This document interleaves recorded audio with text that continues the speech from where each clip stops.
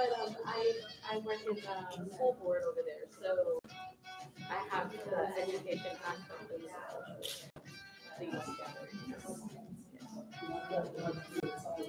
I know. Oh, I didn't think that.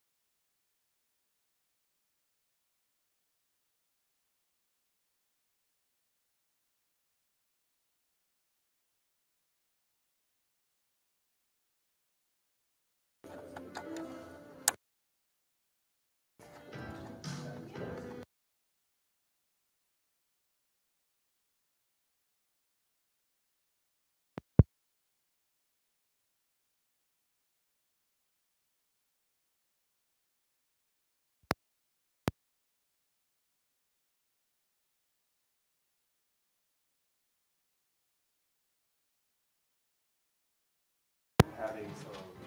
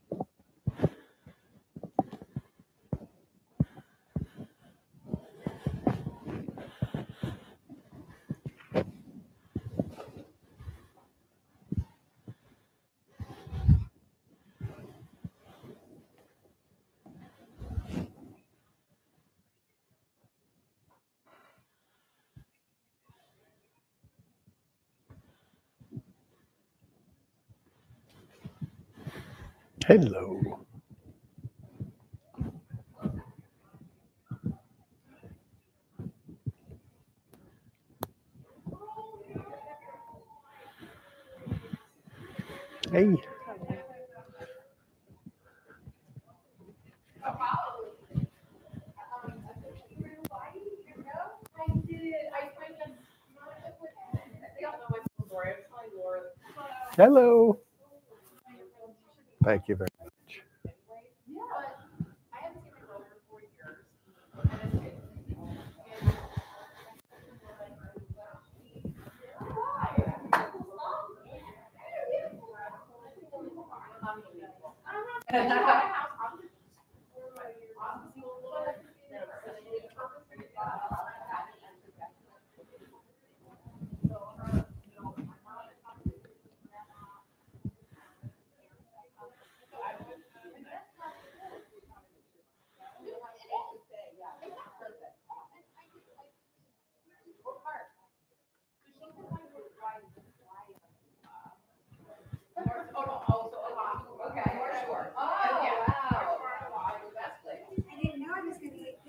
No, really. Bonus. I just wanted to share it because I tell everybody this, that is in any, um, I'm an occupational therapist. Okay. Uh-huh. I'm really, I work, I work at, Indian American only has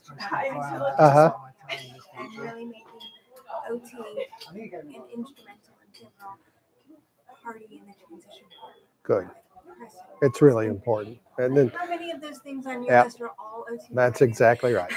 And, uh, You know, I, I actually hear from uh, OTs from around the country who have, who want to infuse more of this stuff into what they're doing. So, I, you know, I think there's a lot of interest. you know, it's consistent. This whole idea of participation is rooted in uh, OT philosophy, and you know, a lot of more work on participation has been done in in the OT realm than there has been in special ed itself. So, Really working at opening the schools. yeah, Saying, okay, why is OT not on the IEP? I don't know what grade they took OT off this child's OT IEP, but uh, we have to, we have to put them back on. And uh, it means that the evaluation, it's so important. And um, I'm actually with the AOTA's community practice mhm. for a transition plan. Good, good. Yeah, we've got a colleague that works with us at the Beach Center who's an OT, and he got a, an AOTA mini grant to uh, uh, begin working on uh, uh, a version of the self-determined learning model of instruction uh, focused on employment outcomes. He's interested in employment outcomes. So, Nice, So. very exciting. Well, I, keep- you know, and then I- like I just, uh, the transition specialist our I just emailed them. I was here. Just so you know that this is Good, good. Well, good for you. Well, and of course, I may I may frame these things in terms of teaching, but there's not a thing that I'm going to talk about this afternoon that can't be done in a speech context, that can't be done in an OT context, or you know, I mean, it's just it's just you know infusing these things into what you do is is the key to it. So Thank you. yeah, yeah.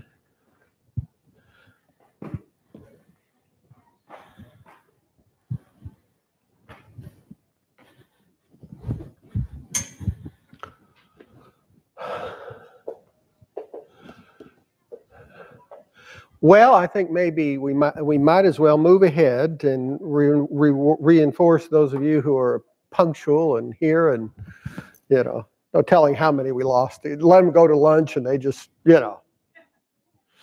Um, just by way of reminder, here's the wiki website. Uh, and then I uh, have put on the, the last slide, I'll put up uh, the, the website again. Uh, it's really the only thing you need to have to get to everything else. everything else will be on a, a, PowerPoint once you get into the wiki. So, so that's our uh, that's the wiki uh, page. Um, so we're going to talk about um, assessment uh, and uh, student involvement and talk a little bit about in, infusing um, instruction on these component elements of self-determined behavior into um, instruction in everything. And then, and then we'll close out the day uh, talking about the self-determined learning model of instruction. So um, take a break. We're on till four, although I think there's a uh, drawing or something for uh, the gifts. So uh, I'll wrap up before that. Um, we'll try to break around two, I think, probably a little after two. So there are a number of uh, measures of self-determination that you can uh, you have access to. And as, as it happens, uh, they're all available for no cost. Um, the um, so the the sort of oldest version that's been around is something that we developed in the in the 90s called the ARC self-determination scale. Uh, it's a measure of Student self-determination, we needed a tool that we could use to evaluate the effectiveness of interventions. Can't know whether interventions work unless you can measure what it is they're supposed to work with, right? But we also wanted to make sure that it was something that would be useful for um, teachers in their day-to-day uh, planning and uh, instructional support. So identify uh, where students have relative strengths in issues of self-determination, where they might need more instruction, more practice. You know, I say teachers, I was just talking with somebody who's an OT. It could just as easily be used in that context. If you're a family member, it could just as easily be used to take a look at where you can support uh, issues around self-determination at home. Um, it um, my experience with all of these, but more so with this, just because I've lived with it longer. Students like uh, participating in the assessment of self-determination. Uh, you're asking them to talk about what they do well, about what they like, about what they're good at, about areas around choice and preference, and you know. And so, by and large, it, it's intended to be a process that's uh, on the side of the strengths based. Uh, it's not intended to end up with, uh, you know, uh, you can standardize it. We have to we have to be able to get a, a more of a standardized score uh, when we're doing research, but I, you know, it's not something I particularly think is necessary to do uh, with this. So the ARC self-determination scale, there's it gives you an overall measure of self-determination and then gives you subscale in and you can see the, the domain. So autonomy, and then some subdomains under there around independence and acting on the basis of preference, interests, beliefs, and values. Um, and then a self-regulation section that looks at uh, interpersonal cognitive problem solving, means end problem solving, goal setting, and task performance. And then a section that's, uh, this area is called psychological empowerment. It's asking about you know, it's, it's sort of uh, these broader issues of locus of control. Do you do you believe that if you do something, it will matter? And do you believe that you can do uh, these things? So it's about the beliefs associated with acting in a self-determined manner. And then self-realization is kind of a broad area looking at self-awareness and self-knowledge uh, and uh, understanding yourself. So the ARC self-determination scale was designed and normed for group or individual administration. So you can do it with a classroom, you can do it with a small group of young people, you can do it with uh, individually. You know, if a student needs more uh, extensive supports, uh, then probably individual administration. Uh, basically what we did, we knew that we, we normed this for students with intellectual and developmental disabilities. So we knew that there was going to be a whole array of abilities around communication, around how, you know, uh, how well students can respond. So it was, it was normed with whatever it took for the student to participate, right? So you can really do whatever you need to do. Uh, you can read items to students. You can you can uh, record what students' answers are.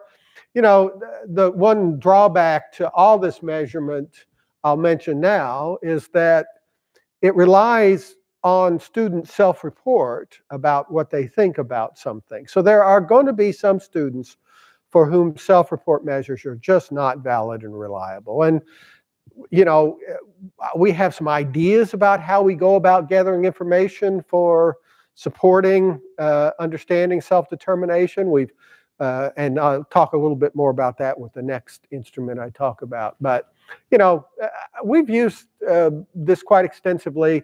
And and and the other thing about the ARC scale is it's been then subsequently normed with students with autism.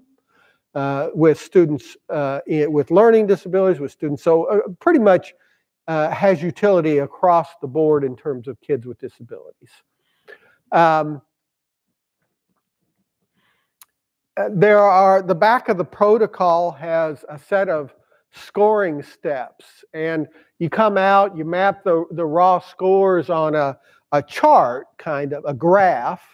So you can see in those areas getting back to here you can get information on you know uh, where students have skills in these domain areas, interaction with the environment, or post-school directions. So you graph out the raw scores and you can end up with just a graph that shows you where students have relative strengths and where instruction might be a good place to start. And again, I, we see it as a conversation with between the the support person, the teacher, the you know related services, a family member, and the student. So it, it we we encourage that kind of a conversation. It's a student self-report measure, so students are reporting their responses. So it's a it's an opportunity to open a conversation. You can look at areas where students uh, have uh, instructional need and and begin to to plan. It's not at all intended to be prescri prescriptive or diagnostic. It's simply a tool to provide direction for discussions about self-determination and transition related goals around issues of self-determination and instruction around issues of self-determination. Normed between ages of 13 and 22. Um, I, I, you know, I think you could use it with younger children just to begin to have conversations, um, and there's no reason not to. Um, if you're responsible for a program, if you're, you know, an administrative role, you can you can take it the next step. You can standardize the raw scores and create standard scores, and you look at where uh, groups of, of students might fall in terms of uh, uh, against norms, same age norms kinds of things. So it, it has utility for program evaluation as well as in our case, as researchers, we use it to evaluate the impact of interventions, but that's always, of course, as a group, not individually. Uh, so we've we've made it as as uh, flexible as possible. So you know, I just mentioned you can you can plate the scale and never score it, and just have a conversation about what student thought about that. You can uh, you can you can just deal only with uh, you can convert it to percent positive scores that let students look at where they have strengths um, or you can complete all components. It is available at a website um, that the University of Oklahoma maintains. It's the Zarrow Center. That's Z A R R O W. So if you Google Zarrow Center self determination, and I've got this website on a final slide uh, so you'll have the, the Zarrow Center website uh, along with this. there's all sorts of uh, materials around issues of self-determination. This assessment, the, the protocol in a PDF form, and the, um, uh, the procedural guidelines for how to administer and, and score items are in PDF form. They're uh, available for download and use as you wish. Um, as well as a number, we're going to be talking about the self-directed IEP in a moment. That's part of a series called the Choice Maker series. That's a set of uh, uh, instructional and support materials around student involvement, the self-directed IEP, but also setting goals, creating action plans. Those are available in PDF form, completely downloadable from the Zarrow Center website. They've they've uh, they've they've pulled in other transition related materials that, that are available. So it's a great resource uh, and all of it's free. Um, so, so that's the ARC self-determination scale. Now we were, we, we had used the ARC self-determination scale in our work uh, and it was fine except more and more we were, we were working in class-wide and then school-wide contexts. And try as we might, to alter it, we could never get it to where it was very helpful for students without disability because students without disability just sort of scored at the top of the uh, the the register on across the board. So it really didn't differentiate. Uh, we did come up with a short version of the ARC scale that um, uh, uh was somewhat predictive of differences, but by and large, uh, it's been helpful in the education of students with disabilities, but as we moved into whole school and classroom-wide stuff, it became less helpful if we had students without disabilities in the context. So we we applied for and eventually got a, a large grant to develop a new measure, and and that measure uh, we actually talk about the self-determination inventory system. Uh, because we have multiple measures and we're uh, going to build it out. So I'll just talk a little bit about that. And I'll just point out that this measure is uh, fully available at self-determination.org. So we, we purchased the self-determination.org website, and that's where all of uh, this information and access, and I'll tell you a little bit about. So we wanted, first of all, to have a student self-report version, just as we had with the ARC.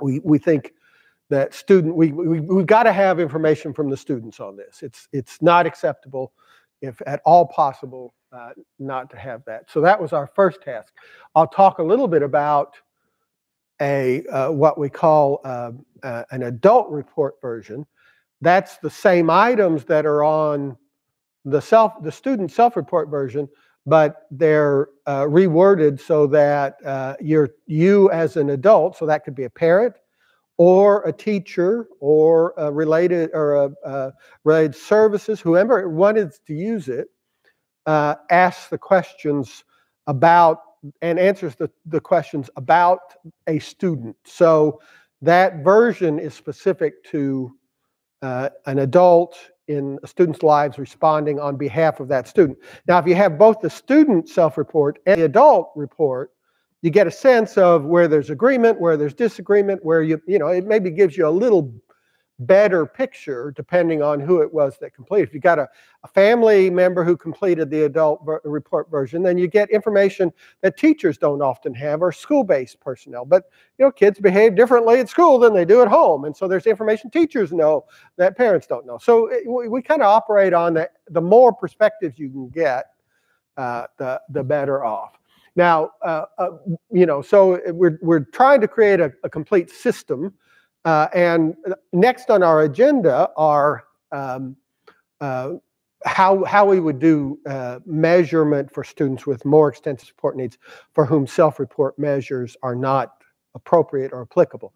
Now, with the adult report, if a student has quite extensive support needs and, and can't complete the, the self-report version, an, an adult can still report on their perspectives on that student. So you can get some some measure or some indicator, and it, it, it would help uh, some. But there are other ways we think that we can go about trying to capture information about relative self-determination for students uh, with more extensive support needs, and it's part of what we want to build out. So uh, the, the ARC scale, uh, one of the disadvantages, it's like 148 items. Um, and uh, depending on how long, you know, the, what kind of support students need, if you're having to read items to them, it, you know, it can take a while sometimes to administer. Um, the, so we, we set out to uh, uh, create the, the self-determination inventory to try to capture the information that you could get from the ARC self-determination scale, but also to make it shorter. So there's only 21 items, um, three, three sections. So volitional action, what is it?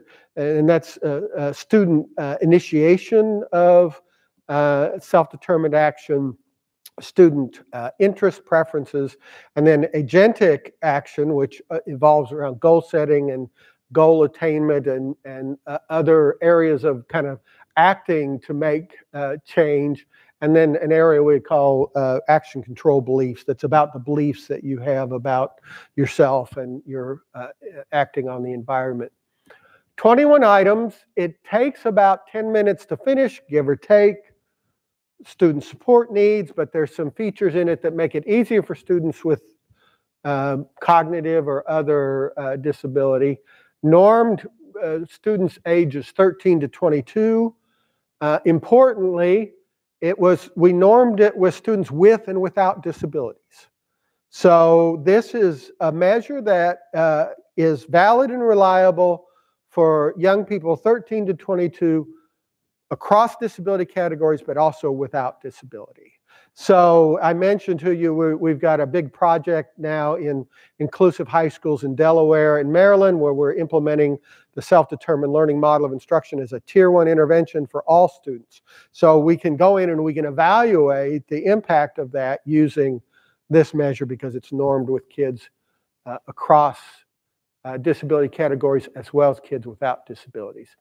We also have a number of online accessibility features. Uh, I haven't mentioned, this is fully online. So there's no paper pencil version. This is a, a, a web-based assessment. And we did that because we can build in universal design features that you can't build into, you know, paper pencil PDFs. Um, so as I'll show you in a minute, well, I've got all these things so uh, this is when you go to self-determination.org, you're going to see a uh, the website. It's going to give you a choice. This may be in a later slide, but I'm going to say it anyway because it's a little bit confusing. So there's there's a, a you can click on what's called we call it single use uh, version or the dashboard version. So let me give you an explanation. The single use version is free. You click on it, uh, you give us some, uh, you, you, you have to have, you don't have to have a count, you just have to enter uh, an email address and, and a username.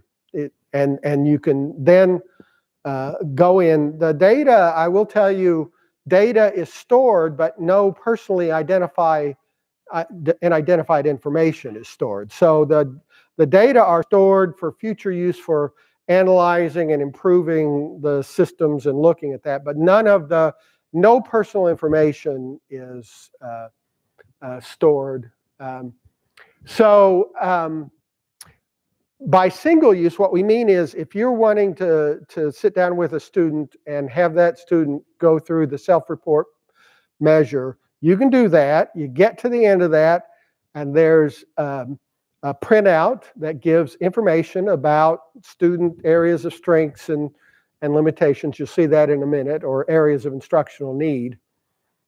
Um, because of the way that the, the, the system was uh, uh, developed, the computing was set up, once you exit that, it just goes away. I mean, you don't have, you no longer have access, and, and there's no way to do something like keep track of whether a student what they scored at the start of the year versus after the year. I'll show you how you save that information for your own use. But once you're done with it and you leave that website, there's no way to get that back. You can use that if you have 30 students in your class, you can use it 30 times with each once with each student. But you're only going to do it one student at a time. And it's you're not going to be able to save more than a PDF of the outcomes, okay? It's free. You can use it as often as you want. If you want to track student progress, you can administer it at the first of the year. You can save the PDF, in, in, as I'll show you in a minute, and then you can you can give them again at the end of the year and and save that PDF. So it's just it's on you. Now then, did you have a question or you were? Yeah. That's right, exactly. That's you know, I I still am not in the mentality of thinking about that. You know, you can just take pictures of things, uh, but um, the um, but what we needed it to do was to be able to do things that allow you to do research on interventions and stuff. We needed it to be able to track across time. We needed to be able to say, okay, you know, uh, there was a mean score of this for this school district or, you know, aggregate group data kind of thing. So we built out another system, and that's what we call the dashboard version. The dashboard version lets you do all of those things. You set up uh, organizations and structures and teachers. You can say, okay, in this classroom, in that classroom, and you can you can uh, it'll save data across multiple measurements, whatever else. It's kind of things that you need for program evaluation, probably, or for uh, research. There was a lot of cost for us associated with building out that dashboard, and there is still some time required for us to actually set up your organization and do all that. So there is a we we had to there's a, a cost associated with using the dashboard version that we negotiate, and usually it's just research teams. I to this point, schools haven't purchased or wanted to to do it at a, a level. Now I could see where a district might be interested in being able to track and be willing to spend. We've got it we've got it costed at a fairly reasonable rate uh, but that allows you to do things that the, this uh, uh, single use version was. I say that just because single use makes it sound like you can only use it once and then never use it again, right? And that's not the case. You can use it as many times as you want. It's just not going to be able to track stuff. It's not going to be those kinds of things. And you're going to have to print out or take a picture or some way capture the information. Okay. So this is what it looks like. We've built in some universal design features. Uh, there are 21 items. They are all on, on this kind of a scale from disagree to agree. Now, understand that there are no right or wrong answers. So when you when you uh, when you ask the question, "I know what I do best," there isn't a right or wrong answer. The students either know or feel like they don't know that, or that you know. Uh, and so we wanted some way to show that uh, an answer had been made without getting into the red to green kind of things, because it, it implied right or wrong. So what we have, I think I have, uh, so first of all, along the top, you've got a progress bar that shows you, in this case, you're one-fourth of the way through when you finish this page, right? So it just gives you a sense uh, of what's going on there. Okay, so when an item is unanswered, there's a gradient uh, that goes from a, light blue up to a dark blue, right? So that one right there has not been answered yet. And it's just a, a, a visual marker of uh, the fact that this hasn't been answered yet. Uh, we have, if you see on some of the words, you can see they have the little dots underneath them. More complex words, we tried to keep the reading level around fourth grade, but any complex word, you've got a pop up uh, you can click that and you get a in-text definition of the word. Um, one of the things we're using revenue generated, so the revenue for this dashboard version goes into an account that helps pay for the personnel to enter for the users, but also will pay for future um, um, advancement. And, and so one of the things we're wanting to do there is, for example, have that be a voice. You can, you can hear what the definition is as opposed to just have a pop-up text box, right? Um, so uh, each item uh, has a play button next to it that if you click on that, it will read uh, the uh, question aloud to you, and you can click on it as many times as you'd like. And we actually hired uh, a, broadcaster for the from the local Kansas public radio station. So this is very sophisticated sounding readings of these items, right? Um, and then when you click, so this isn't, you know, some students with cognitive disabilities have difficulty with the traditional Likert kind of uh, four or five point scale, right? Uh, and those scales are a problem because there's, you know, the difference between agree uh, uh, or uh, agree and mostly agree and neutral, those aren't equal. and you know, if you're like me, every time I fill those out, I want to have more gradation, gradation so I can actually say how I feel. You know, Goodreads. How many of you have Goodreads account? They've got five stars you can give. I'm forever wanting to give a book three and a half stars. You know, because three doesn't. That's too harsh, and four wasn't good enough. So you know, so this is a slider, and it there's no it it it it when we when we score it, we go from zero to 99. But there's no, you just move this slider along there. So when you click on uh, a, a place, what it does is it changes to solid to show that you've completed it. And then it, it ends where you clicked on it.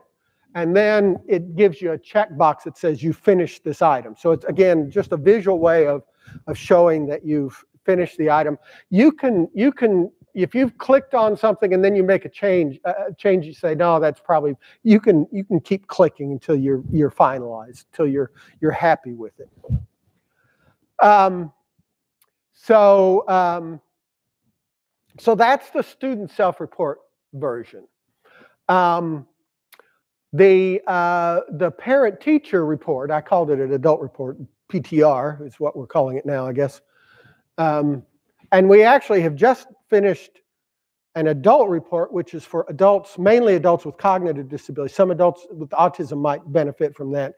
And it'll be up and loaded up. We're just finishing that one up. So it's another tool. So I guess it's a good thing we call this the parent teacher report because it would be confusing. Uh, but the adult report is for adults. Uh, so normed from like 18 through however old we can get people. Um, the parent teacher report is the same items.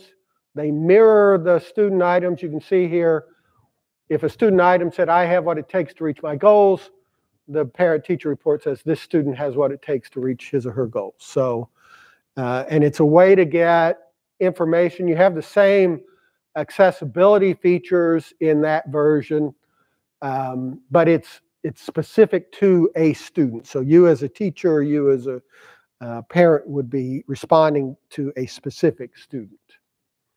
Uh, so now, oh, here's this. So this is what that I mentioned to you. One-time SDI for students. So that's the single-use version. Again, it, it's confusing in that you can use it a hundred times. it just doesn't save any of your data, right? Uh, and and same same thing with the parent teacher. You can do as many of them you want, it just doesn't save your data. And then the data dashboard version is there. And if you want that, you're going to have to work through us to set up a contract. All right. So when you finish, you're going to get, and this my slides don't have all, there's actually more information. You're going to get a breakdown of, of uh, scores in a particular, each of the three areas, volitional action, agentic action, action control beliefs. And then also, you get a breakdown uh, uh, and on uh, components around uh, uh, initiation of action, self-direction. Uh, you know, you can take it down to a finer grain, so you can look at where students have strengths and where they have instructional needs. Now, the easiest way to save this document is to um, print up here. If you print it'll bring up the option. Of course, you can always print it out if you're at a printer, but a lot of times you aren't.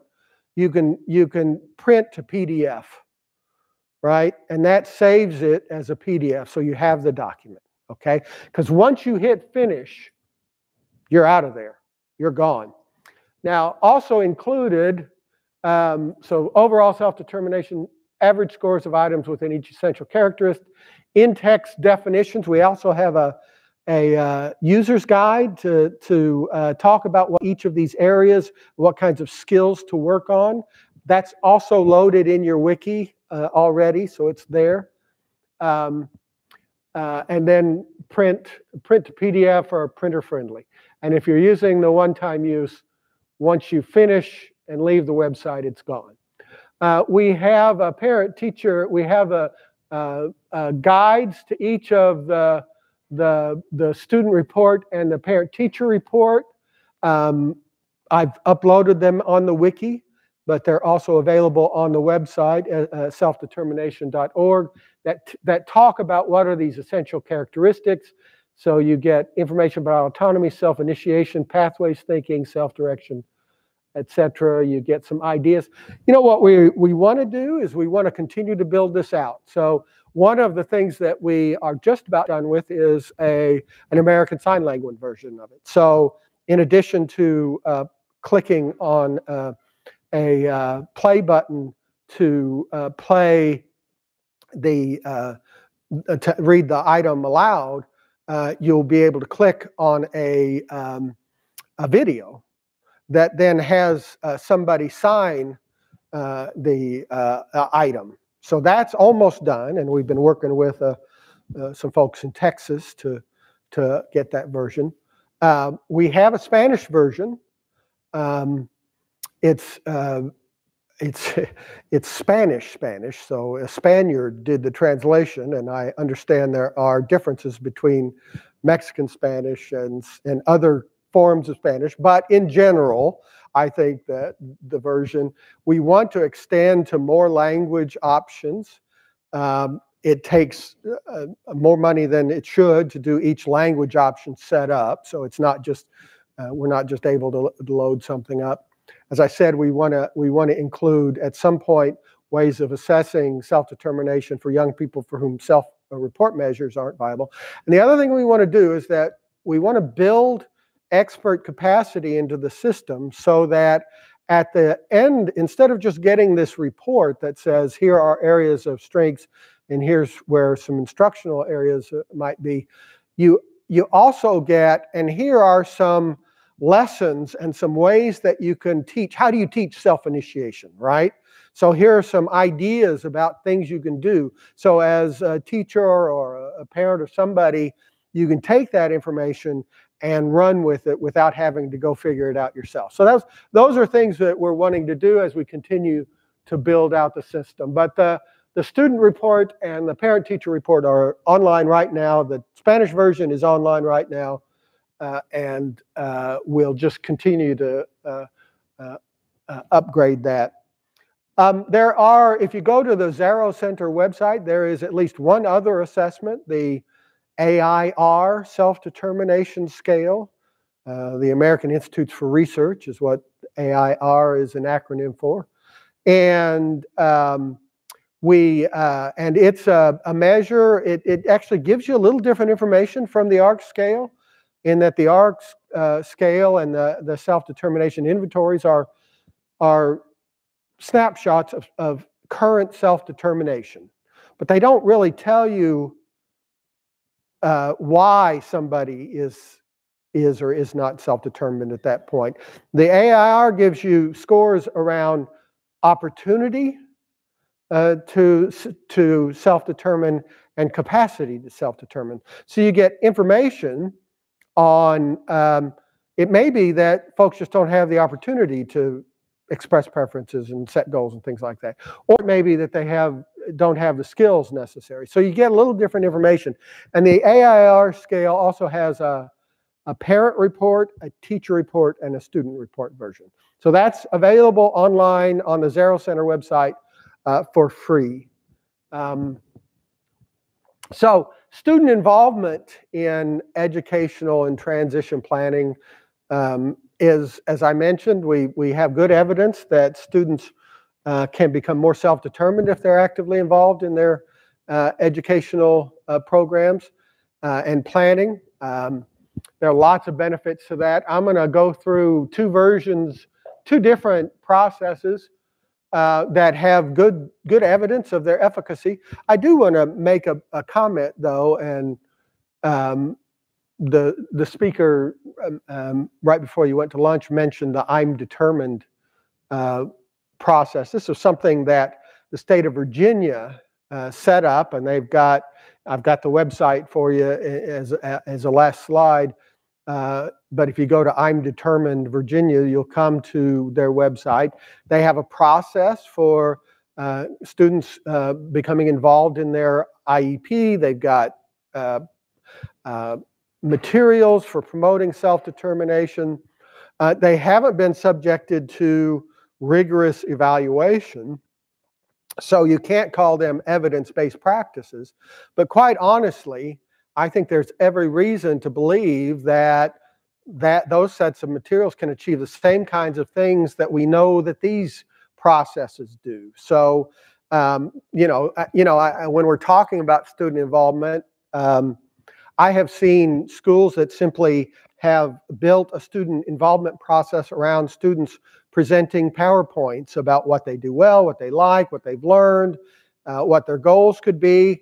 I think there are lots of ways to get to this. My uh, when we moved to uh, Overland Park, Kansas, uh, Overland Park is on the Kansas side of the Kansas City metro area.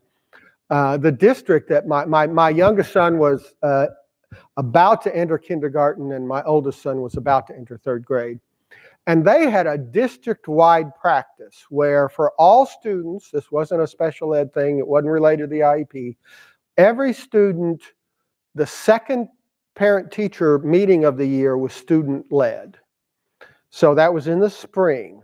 And so we got there and we didn't know anything about this. And, and uh, I thought it was great. And, and so uh, my younger son, they didn't start until first grade. So my kindergartner, he saw his older brother get ready and run the meeting and all this stuff. Well, um, when he hit first grade was when they started this. So we weren't thinking too much about. It. We got a couple weeks right before the uh, parent teacher meeting, and he began talking about this thing, and he began talking about, and all they did was they had a two two page sheet. You could do it front and back, uh, where it said, uh, "This year in math."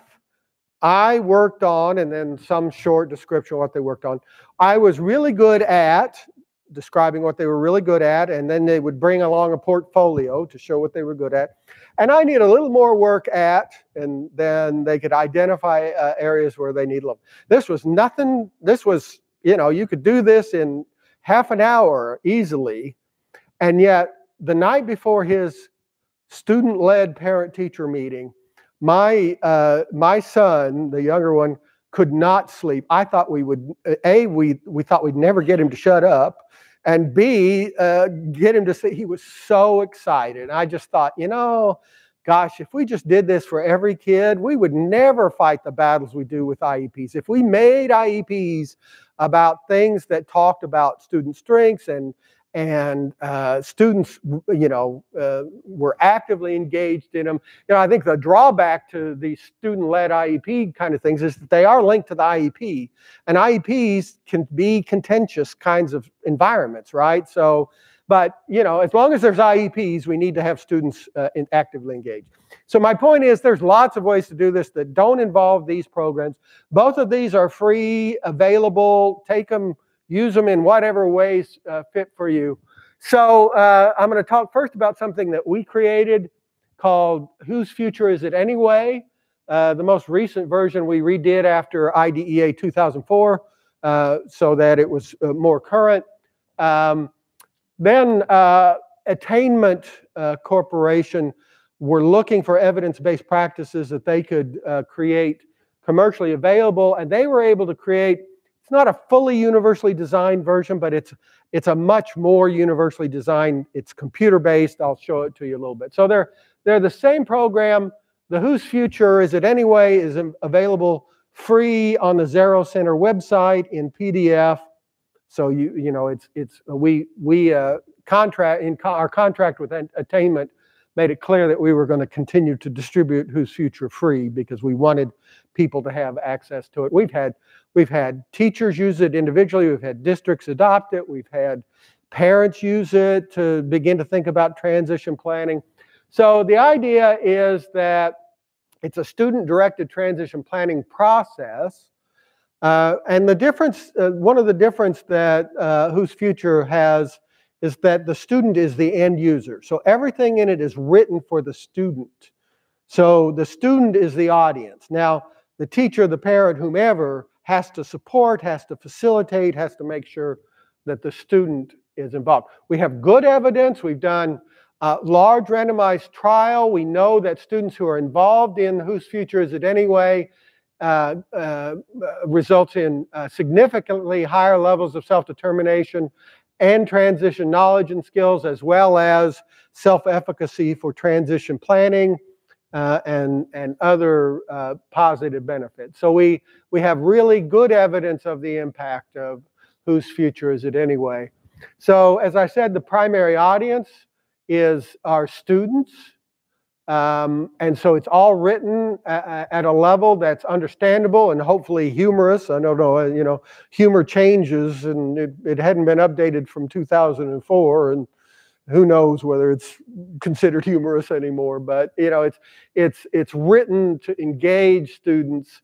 Uh, the student, uh, we, we talk about student directed in that students retain sort of control of the process, but uh, facilitators do whatever it takes for students to participate. We've had teachers uh, audio record the whole thing. We've had them, uh, you know, uh, use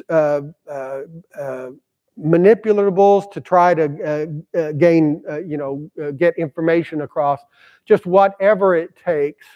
Um, so we're not, you know, we're not suggesting that students should run their own IEP. We want students involved and to make a meaningful decision about what they they want to uh, uh, uh, to do in their IEP. Some students just don't want to be running it. Now, you know, we'll talk about the self-directed IEP, which is teaching students to run it, and that's great. Lots of good stuff there.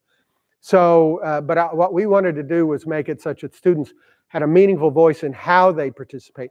There is one sort of, it's not written in as a must do because that would be counter, but uh, all students leave the process with a goal they have written to have included on their IEP. So at the very minimum, students will have a goal they have written around something they care about that can be included on the IEP.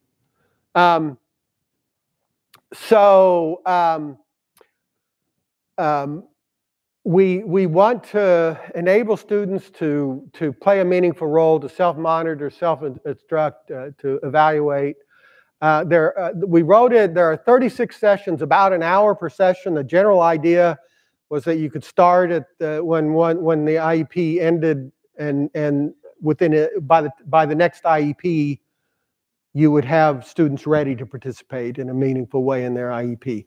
But people use it all sorts of different ways. Sometimes they just crunch it in a, in a month and they get it done. And, you know, so it's really up to you. What works uh, for the, the time. It's written at a fourth grade reading level to try or below to try to keep uh, keep it manageable for students.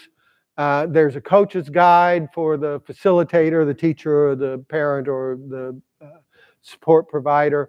The the main areas. The first one is called "Getting to Know You." So it's it's about self-awareness and disability awareness, and we really emphasize we, you know, I, I'm leery of disability awareness because oftentimes that comes off as you should just accept the fact that you have this diagnostic label, right? That's not where we want to go. What we want to do is to get students to understand that they have a unique set of strengths and areas of, of support need and that uh, that uh, that they're better off knowing what they how they best learn and and how what kinds of supports they need so that they can have those kinds of things put into place. So we have a, an acronym for a, we call it MULES, My Unique Learning Educational Supports. Students learn about what they do well, what they do. They learn about the transition planning process. They identify based on federal law who should be at these things. Uh, they're given opportunities to suggest people that uh, could come. They uh, they get. we ask that they get if necessary, redacted versions of their last IEP meeting so they can look at their goals. so they have an idea of what their goals are and, and begin to think about uh, whether they have been making progress on those goals and, and, and, and what kinds of goals they would like. So that's, that's the first section uh, with 36 sessions and, and six uh, primary content areas. Uh, you know, you get the, the, the fact that there are six lessons in each, uh, each of these uh, content areas.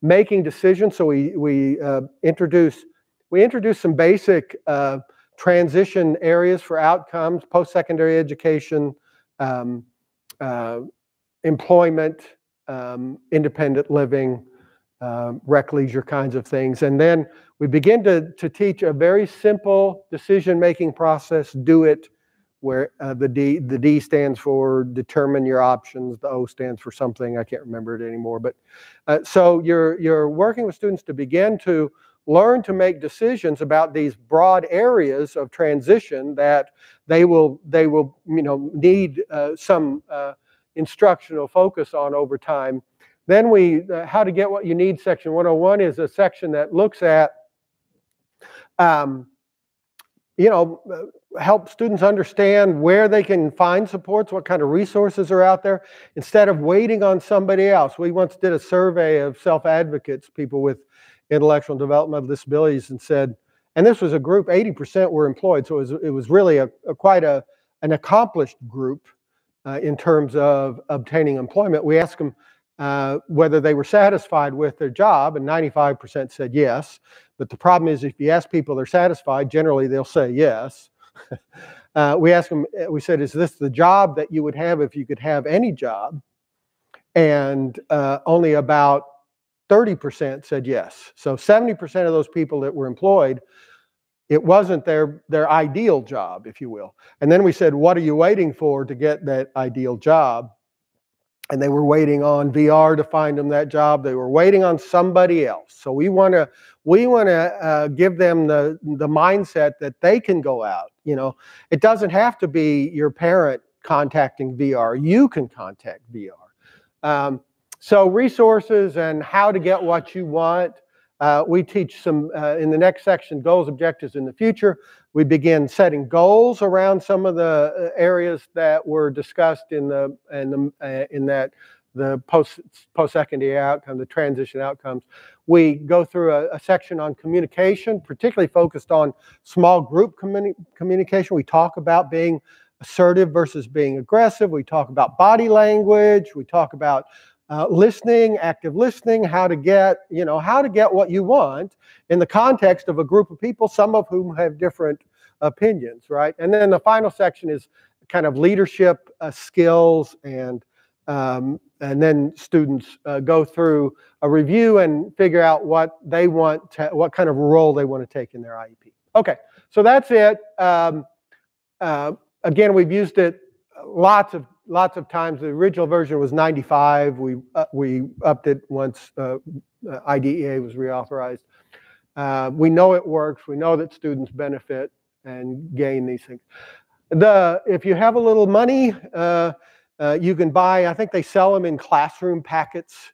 Um, it's not much. It's under 500 bucks for everything but it's the the whose future is it? I don't know. They dropped anyway. They didn't like anyway. They just dropped it to whose future is it? And uh, so this is shorter. There's 15 chapters in three sections. Getting to know your IEP decisions and goals, your IEP meeting. They took the content from uh, the whose future is it anyway. They created a really colorful, and I think they've done a, a nice job. There's a student reader, there's a student workbook, and there's an instructor's guide. The student reader is also on a CD-ROM that uh, plays and, and is the universally designed version. So uh, here's an example. So here's the, here's the workbook version of it uh, on a section on making decisions. Here's what the, um, the CD-ROM version looks like. You get a, you know, it, it's like a book, but it flips pages. You can, you can highlight text for text to speech. Um, you can have it read at lower rates. Uh, you can change font size. So there's quite a few universal design features that make it uh, easier for students to, to do it more um, autonomously. Um, the instructor's guide is a, comes along. Um, there's a workbook. We've been trying to get the the kind of the all the work activities, uh, and all of these are sort of fun. They're not the kind of standard uh, uh, complete this worksheet and turn it in kind of thing. Uh, but we we haven't been able to get it to where it's uh, easily online, so it remains mainly in a in a in the uh, uh, print version. Um, there's accommodation ideas in the in the instructor's guide. Again, CD printable and electronic materials. You purchase it, but if you need more, you can print them out. So, um, so anyway, so that's that's the uh, uh, whose future is it? Um, I've mentioned the self-directed IEP. This is this is developed by Jim Martin and his colleagues at the time he was at Colorado University of Colorado. Uh, he's now just recently retired from Oklahoma University. So these are all available online at the Zarrow Center website. Uh, the self-directed IEP was the first of these student-directed IEP kind of programs that came out. I know it's made its round through Florida at least some point in time. Some of you may have seen it. Um, I think they do a good job. It's it's uh, uh, there are it's part of the Choice Maker series. So uh, it's uh, there are um, uh, a section on taking action and setting goals and something else. So the, the whole packet is available, but the self-directed IEP is the student involvement thing. You've got videos that are available, uh, a teacher's manual and a student workbook. They're all available, as I said, online. Um, again, there's uh, good uh, uh, evidence uh, of the positive impact of this, of student involvement in this on self-determination. So students who are involved in this uh, SDIEP uh, become more self-determined. Uh, there's also, they, they uh, have collected data and, and evaluated the impact on student behavior during an IEP meeting in uh, when students have been uh, Uh, instructed using the self-directed IEP. Uh, teachers talk less and parents and students talk more, so it sort of balances. And I, I don't know about you, but as a teacher and in other roles, I often find myself having to try to prompt people. You know, you talk more because you have to, because nobody else will say anything. But I think it's because, you know, when you have a student running their IEP meeting, it, it changes the climate, it changes how that looks like. I think when you do this, you, be, you begin to create allyships, not only with the student, but with parents and families. Because, you know, I think fundamentally parents and families want what's best for their son or daughter. And if they see you showing respect and saying, I believe you can do this, then that that tells the that creates, I think, a positive uh, relationship between parents and students as well. The SDIEP has a series of um, of uh, instructional materials that uh, teach students 11 steps in running their IEP meeting. Uh, so introduce, stating the purpose, introducing everyone, reviewing past goals and performance, ask for others' feedback, state your school and transition goals, ask questions, deal with differences of opinion, state what support you will need, summarize your goals, close the meeting by thanking everyone, and work on IEP goals all year. So uh, these are, uh, you know, pretty simple. It's not like they're having to complete the complex uh, document that has to be signed by everyone. These are, you know, and it, and they have videos. They're sort of uh, uh, amateurish looking videos, but they're videos of a student using all these steps. And I just think, you know, I can remember when I first saw uh, this, I thought, what a great idea! It's putting students in a central uh, point and and and uh, you know it just again changes the dynamic of that so that's that's the SDIEP there, these are available uh, uh, for free the, um, on the Zarrow Center website. Uh, we also have a, a site called the National Gateway to Self-Determination that has most of these materials as well, uh, ngsd.org. Uh, we have one of the nice things about the NGSD, if you, if you do any training for your district, um, we have more than 50 videos of people with disabilities talking about why self-determination is important to them in employment or in school or in whatever topic you're interested in. there would be a video or two. So it's it's the voice of self advocates talking about these things. We have a couple of videos that are in fact introductions to self determination and uh, that uh, have people with disabilities talking about it. So there's there's resources at both of these. Whose future is available at both of those sites? The the self directed IEP is available from the the Zarrow Center. Okay, so. Um, So let's let's um, let's take a break. How about a break? You want a break now? you want a break in 15 minutes? You're speaking with your feet. Let's let's break. Come back by 2:15 if you would. So take 10 minutes, and uh, we can launch through uh, how we infuse instruction into that, and then talk about the self-determined learning model instruction. How's that? And remember, this slide, once you get into the wiki, you can just find this website from there. But yeah, I wish they'd made that one easier, but they don't. You can also, if you also just Google uh, uh, Zarrow Center Self-Determination, it gets you there too.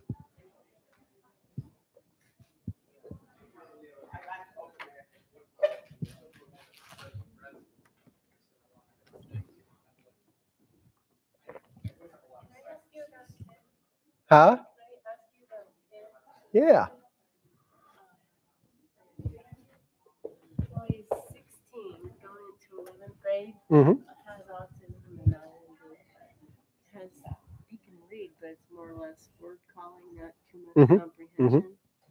Not at all able to do anything independently. Like if I say, "Here, read this and Mhm. answer that." Mhm. Well, yeah. So he wants. They want him to take algebra.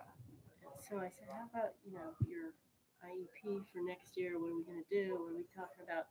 He goes, "Yeah, I'm going to take algebra." I said, "Well, what's six times four?" I said, "You're going to need to know your basic multiplication facts for that."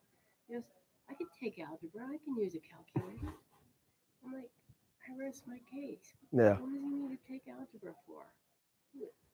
So do I go tell the dad, give your kid Spanish instead of algebra? Because the kid could be some sort of like a, a counselor for other kids Uh huh.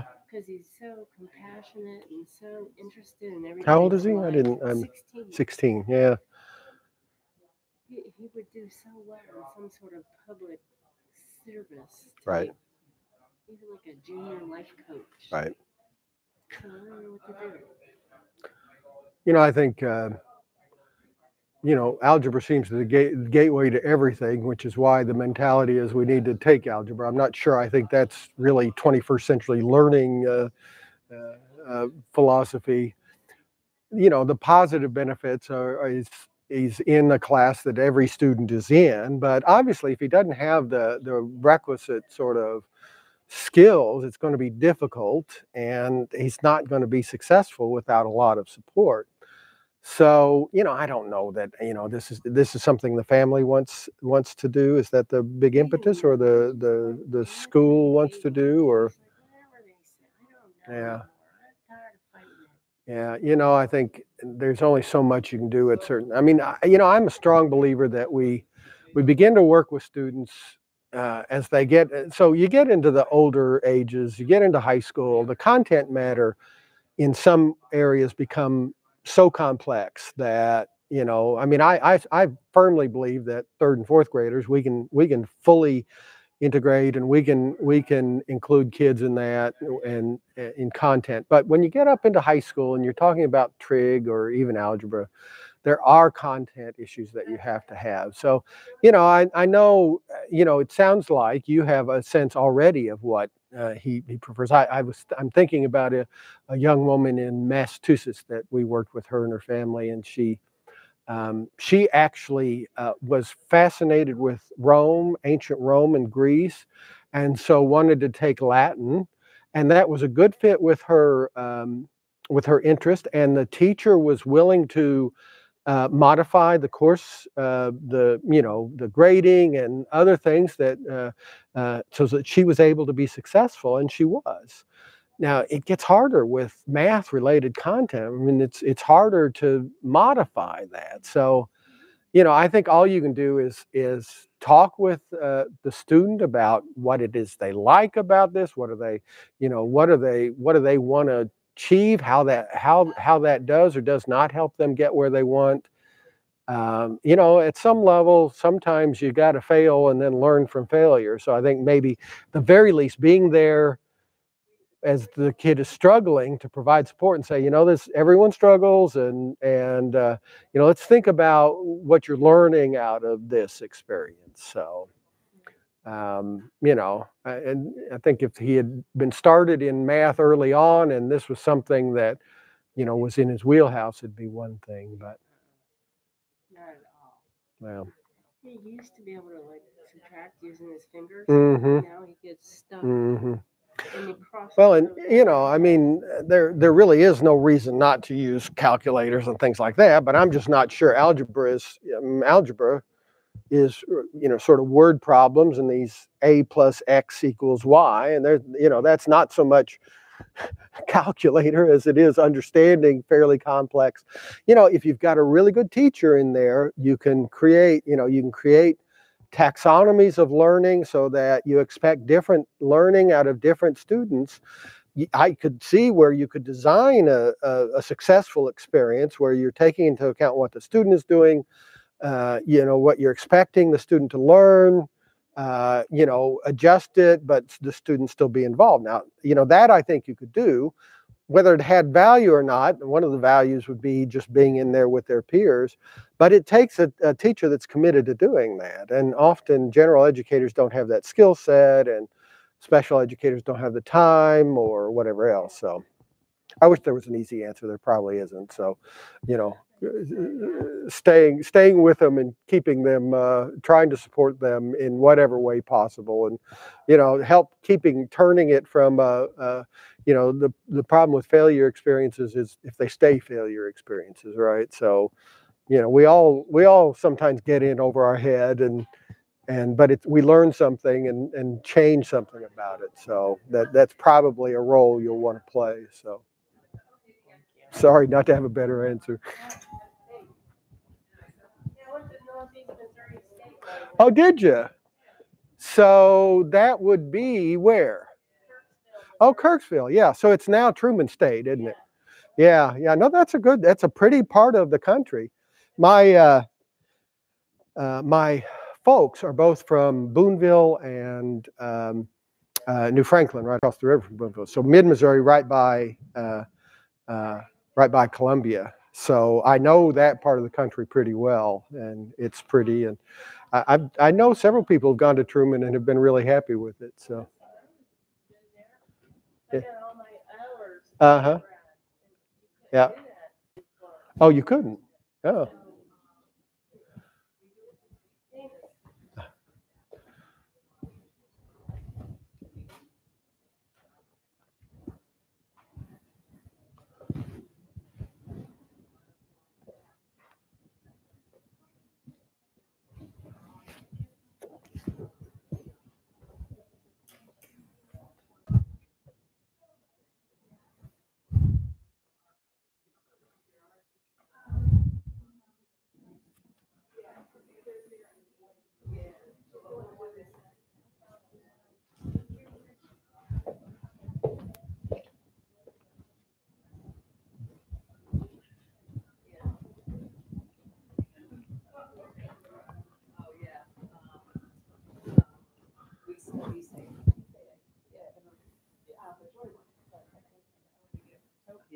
Yeah, Be safe, the movie. Huh? yeah, That's what uh, right. Jack was talking about. What time do you want me to close down? Um, You've got, you're Um, gonna do a, yeah, we're gonna do, um, the drawings, Uh-huh. um, and then I wanna, I wanna, before you leave, I wanna get a picture of our staff. Okay. And I wanted to introduce our staff. okay. So That'll be just maybe five minutes. So whatever Ten- time you want. if 10 till 4? Sure, sure. Does that give great. you enough time? Yeah, oh, yeah, Okay. yeah. Perfect. You know, I knew I, um, when I had done some online research over the years, uh, I saw that whose future is it? When I saw your name, I recognized your name, and then, uh, It's been around a while, but we couldn't get anyone to actually sell it, so we gave it away.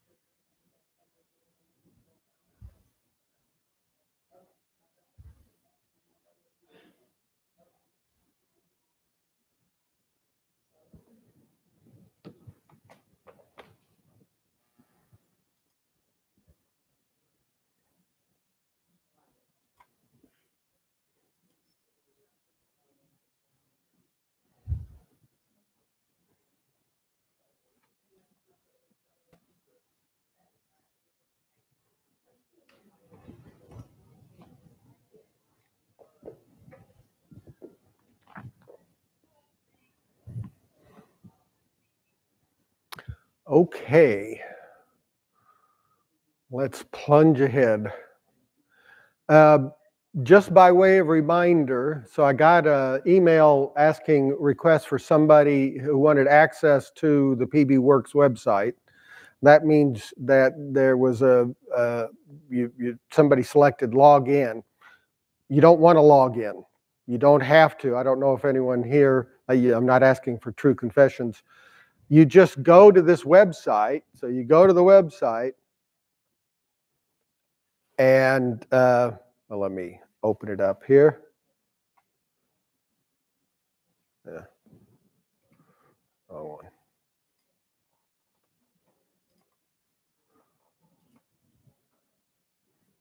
So once again, you go here and, and you don't have to log in. Uh, you just go to pages and files. And all this stuff is, is available to you. And if you want to download something, I didn't show this, to download something, say you want to, you can, you can click on it and it'll open it up. Um, well, here, the easier way to do this is for each one, it'll, it'll bring up a dialog box there on the right. It says more.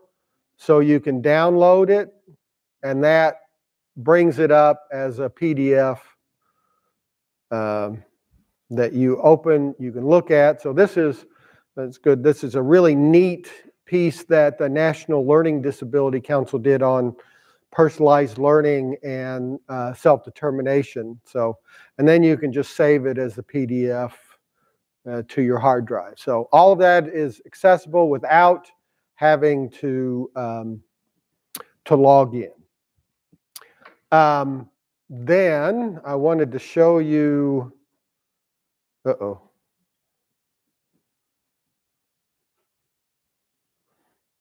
All right, hang on here. Oh yeah, this is right.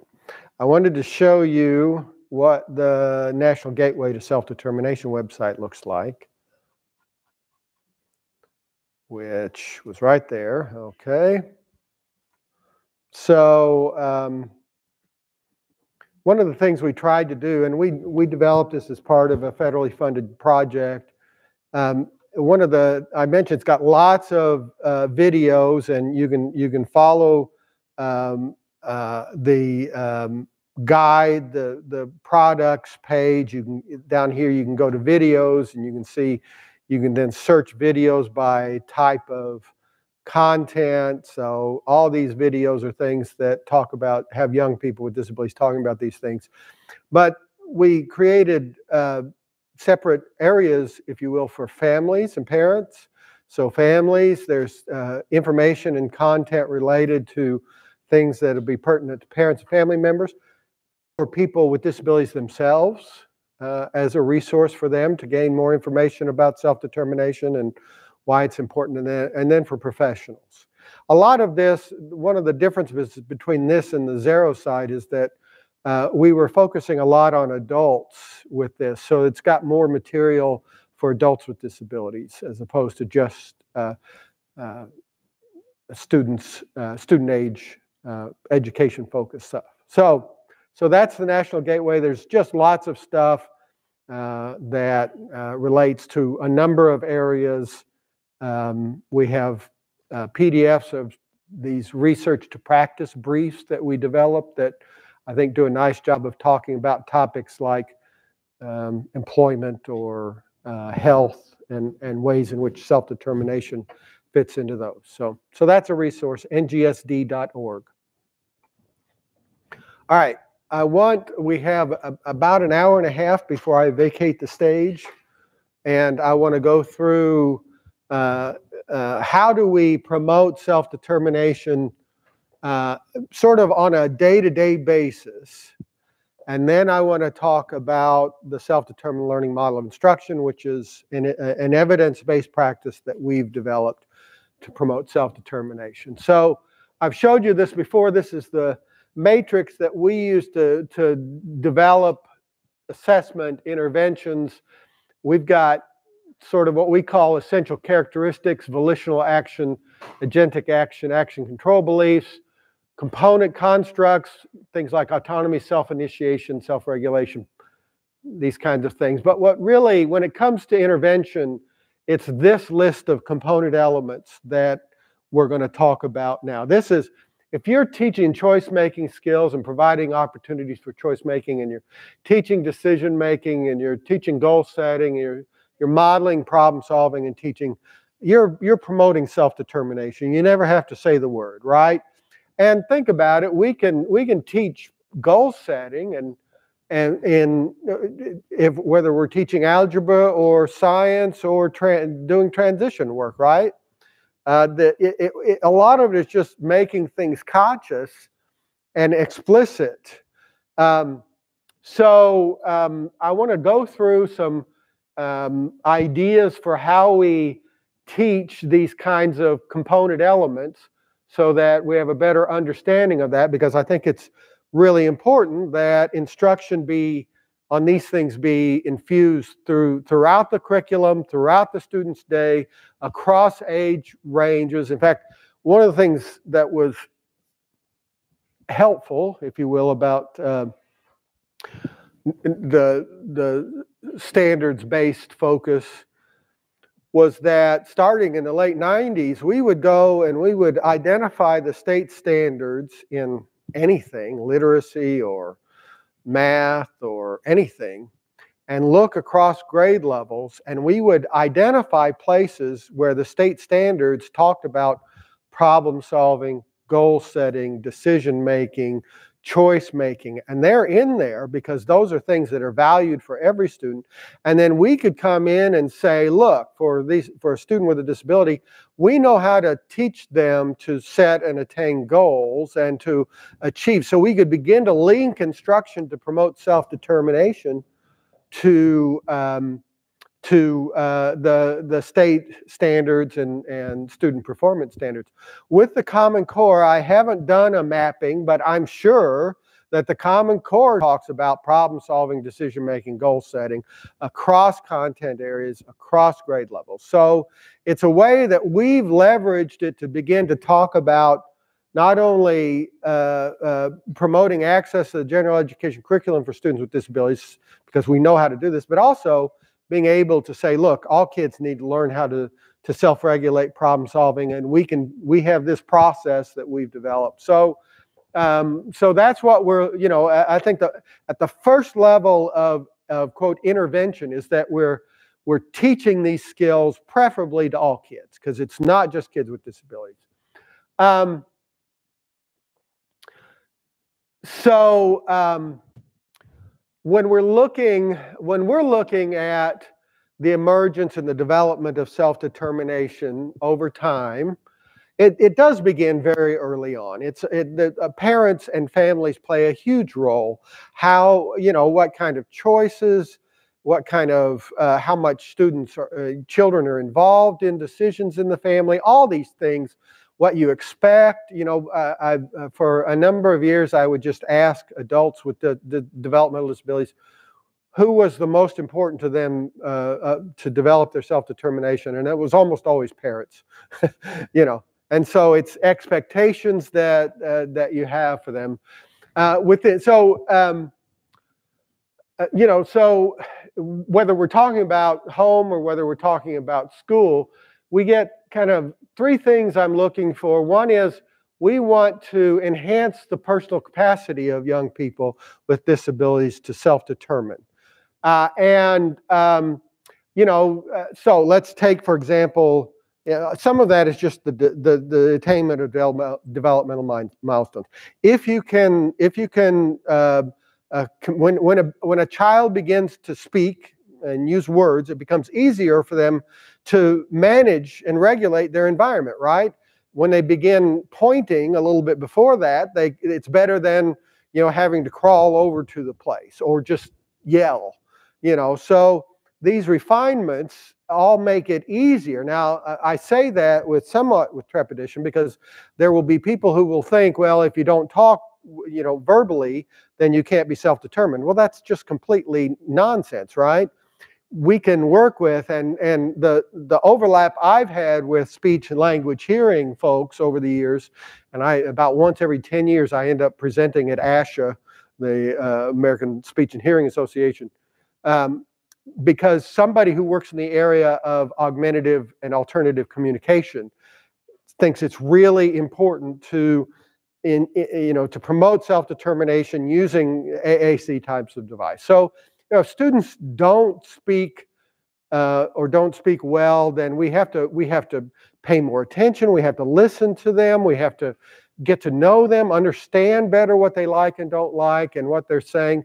And we need to provide whatever way we can provide for them to communicate uh, more. So, uh, but anyway, there's you know sort of the uh, attainment of developmental milestones, and then there's there's the acquisition of these skills related to these component elements that we'll talk about, but also opportunity. You know, you you can have all the skills in the world, but if you never get a chance to use them, it doesn't matter, does it? I mean, you can know how to make a decision, but then never be allowed to make a decision, and it's a moot point. So, opportunity is oftentimes as or more important. You know, my experience is in, in most cases, just enabling students, putting them in situations where they're enabled to make choices and to uh, to meaningful participate is as good a way to start as teaching them some prerequisite set of skills. Now, you know, there are things that you want to be teaching students and and uh, but nevertheless, opportunity. We want to build environments that that support uh, choice and autonomy, and we talked about what those look like earlier. We want, particularly for younger kids, frequent experiences of choice and control. Um, and I'll talk about that in just a second. So, and then the supports and accommodations that enable them to be successful. And again, technology is going to play a, a big role in that. There's lots of, of ways that we can figure out uh, how to support people. So, uh, so in terms of sort of focus, again, I think uh, instruction on these component elements of self-determined behavior uh, across content area, across the school day, and across a child's career. We ought to be teaching goal setting, problem solving, decision making, choice. We ought to be infusing choice in all these things. It's you know it it just we can do it. We can we can uh, you know it doesn't take a lot of energy. It doesn't take a lot of time. It mainly is uh, just being aware of that. And then there are some specific curricular materials uh, and assessment materials that assist that. And then student involvement is sort of the third thing. So when I'm in a school and I'm looking at the degree to which they're promoting self-determination, I'm sort of looking for some combination of these things. And, and that's what I think we want to be doing. Um, I want to talk a little bit about, uh, because I was, uh, I, I was asked to talk a little bit about kind of early childhood and younger kids and the development of self-determination. So, you know, um, young people, very young children uh, aren't self-determined as we understand it. You know, they're dependent upon others in their lives, adults to structure their days and to uh, support them. Really, I think we we look at the development of self-determination as emerging in uh, you know kind of late middle and into into high school. It varies for some kids, but but there's lots of things that have to happen both before kids hit school and later on in life or later on in uh, elementary school, uh, and um, that lead to the future development of self-regulation and and some of the things we'll be talking about. This I don't know that this is really very helpful. This is just simply uh, it's uh, uh, the Bronfenbrenner's uh, ecological system. So we're impacted in what we do by the microsystem, which is the the things that are around us. So in this case, the microsystem is neighborhood and place of worship and family and school and peers. So those, the microsystem is one level where uh, our behavior is impacted. And obviously, uh, you know, peers and same age peers and and working within the context of the microsystem is an important element. Families are critically important in development. And then you've got mesosystem levels that include um, the uh, uh, well, meso is sort of the next level up. I don't know why I didn't put anything in there. They're they're sort of uh, uh, school districts are mesosystems. They're they're not the direct uh, family, but they're a little little larger. And then you get out to what they call the exosystem and the macrosystem. This is uh, service systems and then finally economic and legal and all these things. All of these things impact relative self-determination over time. So, you know, when we're looking with younger kids, what we have to be looking at is how can we support the family to enable young people to become more self-determined. Now, they're not going to be self-determined as we know it when they're five, six, seven years old. But you know, and and so we talk a lot about uh, choice as being when uh, children are young, choosing, being able, being supported to make a choice, enables them to begin to learn that they can control their environment, and it's sort of precursors to later self-regulation kinds of things. So um, I've got a, uh, there's a paper there's a couple papers that uh, are uh, in the wiki on this. Um, but just, you know, there's we can look at things like overarching sense of self-awareness and self-knowledge. Uh, there are some things that we can focus on in the early years, early childhood, two to five years, uh, that would be important for the later development of self-awareness and identity and self-knowledge. Then as they get a little older, there's things that can be done uh, and into late elementary. I'll talk a little bit about how these vary as we go through these component elements. I'm just giving you illustrations, um, um, you know, uh, helping young people, what they're called domain and mean specific beliefs. These are the beliefs that you can solve problems and that uh, means end problem solving is that you are able to identify the means that lead to you. So there's, there's things we can, oops, I hit too many. Uh, uh, choice making, problem solving, decision making. Let me just give an illustration here about how these this these are a good one to be uh, to understand more of a developmental perspective on. So we often use kind of choice making and and problem solving, and decision making, uh, sort of interchangeably sometimes, particularly problem solving and decision making. But as I'll define in a minute, they're they're they're different and distinct activities. Um, very very young infants, as young as two weeks of age, which is about the earliest you can measure anything in infants, because up until two weeks of age, they're just asleep. If they're not asleep, they've got bowel movements going on, or they're eating, or they're screaming. So it's really very difficult to do research. But once you get about two, a, two weeks of age, you know, there, there's ways of measuring. So what uh, it's been, you know, a long time ago now, it's not even a new finding, that we, we, we know that infants two weeks of age have a preference for ovals over triangles. That weird? Now, why would that be? That's exactly right. Mom's face is an oval. And as a species, if we come hardwired with preferences for ovals, it means we're going to seek out food sources, right? That's pretty clever. There's lots of things that, in fact, we come into this world with preferences for. Uh, some seem really odd, but most of them are kind of species driven and evolved over time. Now then, if you've been around a six-month-old later uh, lately, you'll know that they will have developed all sorts of preferences that go way beyond whatever they had with them when they came in. I mean, they are, you know, they know what they want, they know what they like, and then when they uh, when they begin to uh, crawl. You know, you got to move everything in your house up to about six feet so they can't get into them. You got to put things in all the sockets, you know. And then when they can point, and then when they develop language, they become more sophisticated about this. So, you know, we really don't have to teach choice making as much as we have to structure environments.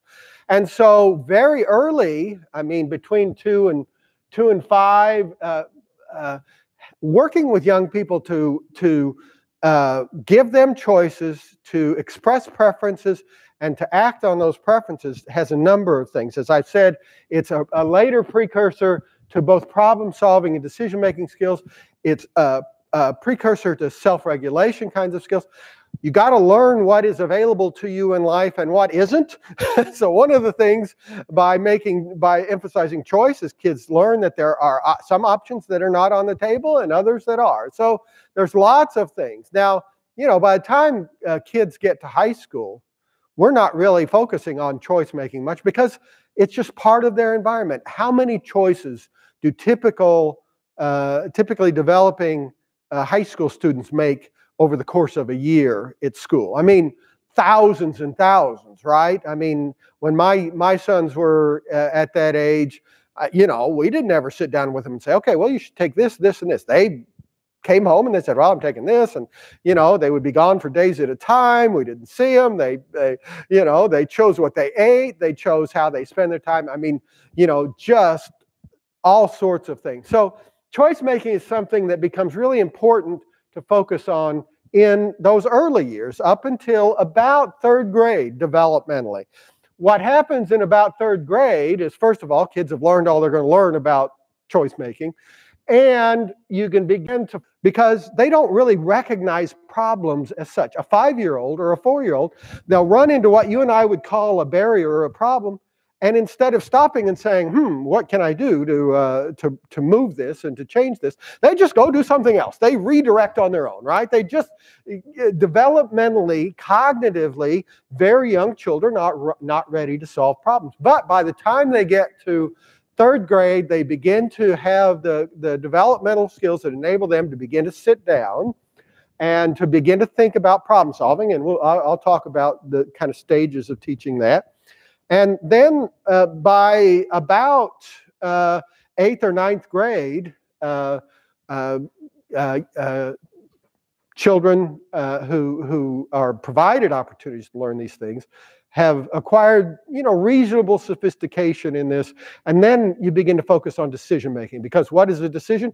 It starts with a problem to solve. The problem is what are my options? And it ends with making a choice. So it so there's there's really a nice kind of lifespan uh, trajectory there. So you're looking, you you know, and you know, I honestly believe that, you know, we did research 25 years ago showing that young people with intellectual disability uh, were able to generate fewer and less sophisticated options for problems to solve.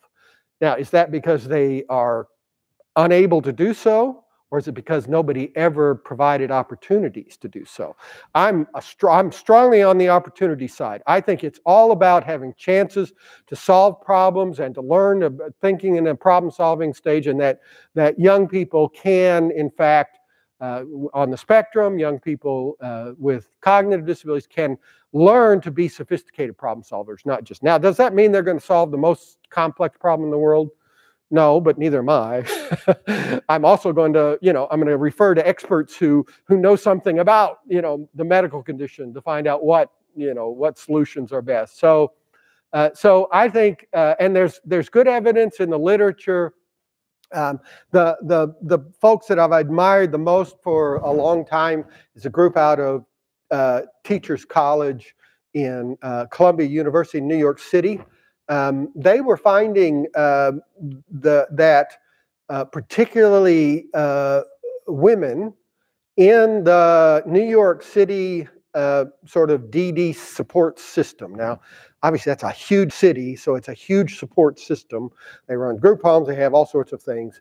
They were finding that women were at much higher risk for abuse, neglect, uh, domestic violence, those kinds of things, in part because of the context, uh, and in part because nobody had really ever talked to him. So I, I, don't know whether at the, the session yesterday, whether Kim talked about these kinds of things, but uh, but so the the researchers and the and the the service provider got together and they, they began to develop something. They, they it's called Escape DD. If you Google Escape DD, it's a fully formed intervention to promote uh, problem solving and decision making uh, for uh, to help people understand better uh, what constitutes a risk situation or not and how to basically problem solved uh, to uh, to know not to you know put a, put yourself in a certain circumstance or whatever else. Um, and and they they broaden this to all young people with DD. I think I would think you know I don't know that they've. I'm I'm sure there have been young people with autism involved in this, and uh, they've shown clearly that given kind of ongoing instruction and they use uh, sort of uh, scenarios, you know, a, a case-based kind of learning that these young people can acquire lots of skills around uh, problem solving and decision making as it pertains to these uh, uh, high risk situations. You know, it's it's not only true uh, in uh, in uh, for kids with disabilities. So in in our in our country, we have some really visible drug, alcohol, and tobacco awareness programs that are implemented in elementary schools. Uh, Just Say No and Dare are probably the two most visible ones. These are really effective at raising awareness. Uh, and I, I don't think you can find a third grader in this country that will say that they will ever use drugs, drink, or use uh, or use tobacco.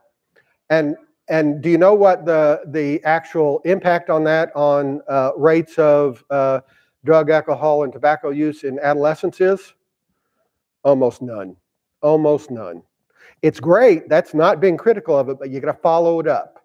And when you follow it up, the the interventions, and this is for all kids, not just kids with disabilities, the interventions that have uh, proven evidence of their impact on reducing risky behaviors on the part of adolescents are uh, interventions that incorporate a problem solving component within it. So teaching problem solving is part of what we do. Okay.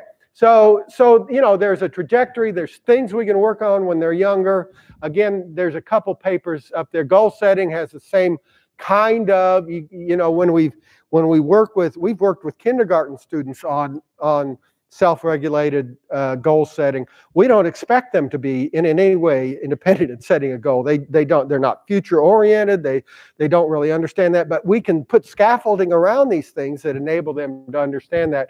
And there's there's you know you can you can engage in play that talks about future lives. So you're looking at future lives. You're looking at at uh, and then as they get a little bit older, uh, goals you can begin to set simple goals. So uh, you're you're you're uh, praising or reinforcing incremental uh, progress, and then later on, you can begin to focus more on on teaching goal setting. So uh, these are these are things that are important. We've not done as much uh, in the uh, elementary years as we should have, could have. Uh, it's been hard, quite honestly. Almost all of our funding, they were interested in choice as a as an intervention, so they chose eating vegetables with uh, elementary age students. Now. I don't know about you. Uh, neither of my sons were very keen on most vegetables. Uh, I don't think they were an exception to any rule. I know there were some of their peers that were even less, you know, but kids by and large, you have to cajole them, you have to bribe them, you have to threaten them to get them to eat their vegetables, right?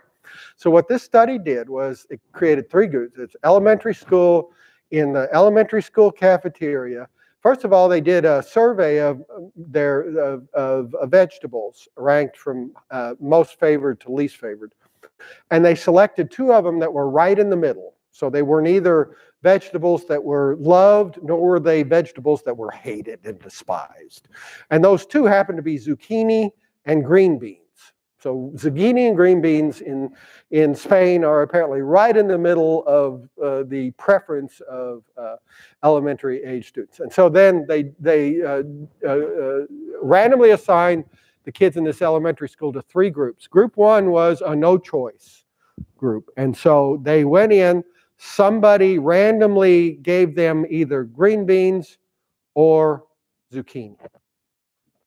They didn't have any choice. They could come back and eat as much as they wanted, though. Uh, so, you, you know, if they finished their green beans or zucchini, they could come back and get more. The second group was the first choice level. That was they could choose between either zucchini or uh, green beans. Um, but, uh, and they, they choose one, but they could only come and they could come back and get more, but it had to be what they'd chosen. So if you if you chose green beans, you'd come back and get more of it, but it had to be green beans. Then the third group was, you guessed it already, you can choose and then you can come back and get something different. You can get green beans or zucchini, you can you can mix and match. So uh, and the and the and the and the intervention, that was the intervention was the choice. And then they measured uh, in grams uh, vegetables consumed. What are your guess as to which group consumed the most vegetables? Yeah, I would have said group three too, but actually it was either choice group. It didn't matter.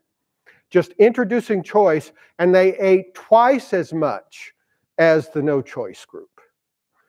There was another study that was uh, similar around homework, something that, you know, if you're a secondary educator, you're struggling. We, as parents, struggled getting my younger son to, to turn his homework in. He'd do it, and then he'd, it'd be in his backpack, and, you know, and so, uh, uh, or he didn't do it.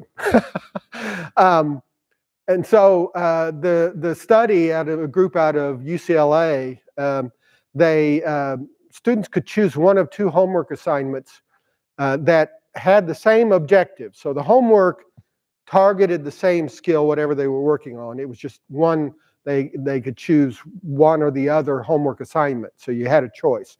And then there was the control group that had no choice. They just got the equivalent of what one student got. So there were an equal number of any homework assignment in the control and the treatment group. And what they found after some period of time, I think it was uh, eight week period, was that the the treatment group, the group that had choice, they scored significantly higher on. Uh, they had significantly higher uh, um, uh, uh, return rates and and got better grades on homework. And in fact, it then translated into higher scores on the end of the unit test. So you know, choice is an important uh, and, and potentially powerful intervention for us. And, and so, uh, so anyway, so we're making a choice. Uh, dear, dear Napoleon Bonaparte here said, uh, choice is of, or ability is of little account without opportunity. We just need to structure environments and contexts that enable young people to have choices, particularly younger students, right? Uh, I'm going to talk throughout this section on what we need to be alert to for students on the spectrum. Um, I don't want this to be interpreted as a deficits thing, but students have different learning uh, uh, profiles and areas that we need to pay attention to. So students uh, uh, on the spectrum have fewer opportunities to learn about preferences based on personal experiences than their non-disabled peers one of the things we found is we've done research using the Arc scale uh, with young people, adolescents with autism, is they actually score lower in the autonomy section than either students with intellectual disability or students with learning disabilities. For so you know, uh, there's probably good reasons. Uh, I mean, we can probably explain that is, but but you know, if you're not out and about in your community, you you don't know what you don't know, and you don't know what you like, right? I mean, and so we need to we need to make sure that young people have lots of opportunities to learn about preferences. Uh, students with uh, communication impairments may not be able to express preferences in traditional ways. I've talked about problem behavior as, as an expression of preference. So we need to, to uh, work harder and, and provide them ways of expressing preference and listen better and, and be good uh, observers. Um, you know, I would, I would I think this uh, this issue of getting young people out, you know, often uh, students with disabilities are sort of stuck stuck in time with what people think they like. I, I don't know. I mean, I, I can think of a number of young people over time that have some age inappropriate uh, toy or thing, and the, and the justification for that is that they oh he likes it. Well, he liked it when he was five but now he's 12. What are what are what's happening with his peers that he might like just as well? Or 18 year olds, or you know, and so it's all about experience. It's, it's why I say I want to hire the person that took Bill in my story earlier, whitewater rafting. You can't know if you like whitewater rafting until you've been whitewater rafting, right? You know, uh, I mean, I think I wouldn't like it, but I can't know for sure, you know.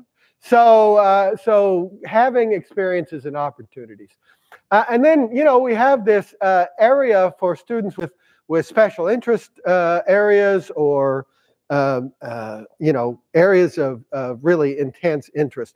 You know, it's usually framed as a problem, right? Uh, it's inter- and it does in these kind of very targeted interest areas can can disrupt learning in other eh, more developmentally important areas and all these things. We know the, the drawbacks of this, but it is it is a, a preference. And you know, there is a certain amount of, of uh, dignity afforded to recognizing that as a preference and going with it. And so, you know, it also provides a way for you to uh, uh, uh, uh, integrate uh, opportunities to make choices around that interest area into almost any activity. So it can be difficult, and I'm not I'm not intending to uh, uh, minimize that, but I think we've got to quit thinking got to quit thinking of it as a problem and start thinking about it as you know there isn't anything a person you you find something that a person with autism has an interest in that isn't also somebody who doesn't have autism's interest uh, you won't i mean it, it's just it tends to be and and it's not even that it's that intent i mean you know I, I i'm a book collector and i have collected things all my life so i have uh, you know i spend way too much time and money on uh, books that are collectible and I know a lot. I could sit and talk to another collector for, you know, long times. I, I participate in online uh, uh, discussion groups around these topics. It's something that I really enjoy. Um, we all have these things, and or most people do.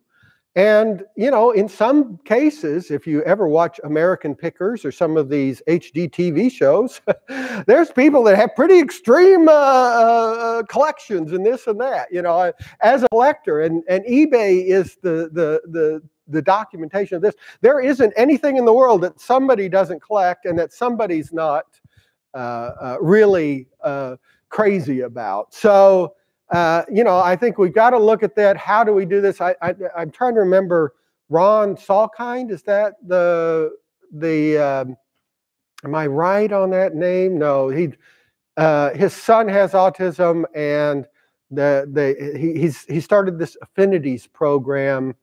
Uh, his son was really fascinated with Disney movies, and it was the way that they. There was a movie made out of. Somebody help me here. I'm having a senior moment and not able to come up with it. Anyone remember? Anyway, it's you know I, I recognize it's not perfect, but it is, it does illustrate. They use they then use these Disney dialogues to engage with their son, and he he went on. He formed an affinity group at the high school around uh, these Disney movies that kids with and without disabilities participated in. And there's a, a, a, a segment in the in the film where uh, these kids with autism are talking, and, and, kids with Down syndrome and kids without disabilities, and, and the, uh, I think it's a kid with Down syndrome, talking about these underlying meanings of the Lion King and what it means around relationships and all this thing. And you're thinking, wow, you really did get that out of that, didn't you? So uh, it's just something that we need to be aware of and not just look at it as something that we need to extinguish, right? So. Uh, choice making, like I said, really important uh, for children, early elementary. Um, we, you know, we've got evidence that simply including a choice option in a behavioral intervention improves the behavioral intervention. So there's, there's lots of, of evidence that this is, this, you know, I think, I think we're hardwired as humans to care about choices, our own preferences. I mean, we do things based upon these preferences that sometimes would seem irrational. I mean, my book collecting behavior seems irrational to my wife. you know, uh, but, uh, you know, so, uh, you know, people sort of, uh, we really like uh, to, to uh, make choices. And then the point I made earlier, people's preferences changes just because a student liked it one time doesn't mean that they like it now. So we need to assess, we need to provide lots of opportunities. We can integrate choice into teaching all the time. Student choice is an early step in an instructional process. I've already talked about choice in homework, number of choices related to a given activity, uh, number of domains in which choices are made. Um, you know, uh, giving giving a kid a choice of when they do something rather than doing it now. You know, it's not that they ha- they can opt out, but and then in some cases maybe let them opt out of something. So there's lots of ways we can use choice and integrate that into uh, student. All right, so problem solving. A problem is a circumstance, an activity or task for which we don't know a solution or it's not readily apparent. So we're we're we're going about the process of solving this problem of identifying technically just identifying what solutions exist for us. If you look at instruction in problem solving, uh, there are three major areas of focus. The first is uh, problem identification. The second is problem explication and analysis. And the third is problem resolution. So problem identification.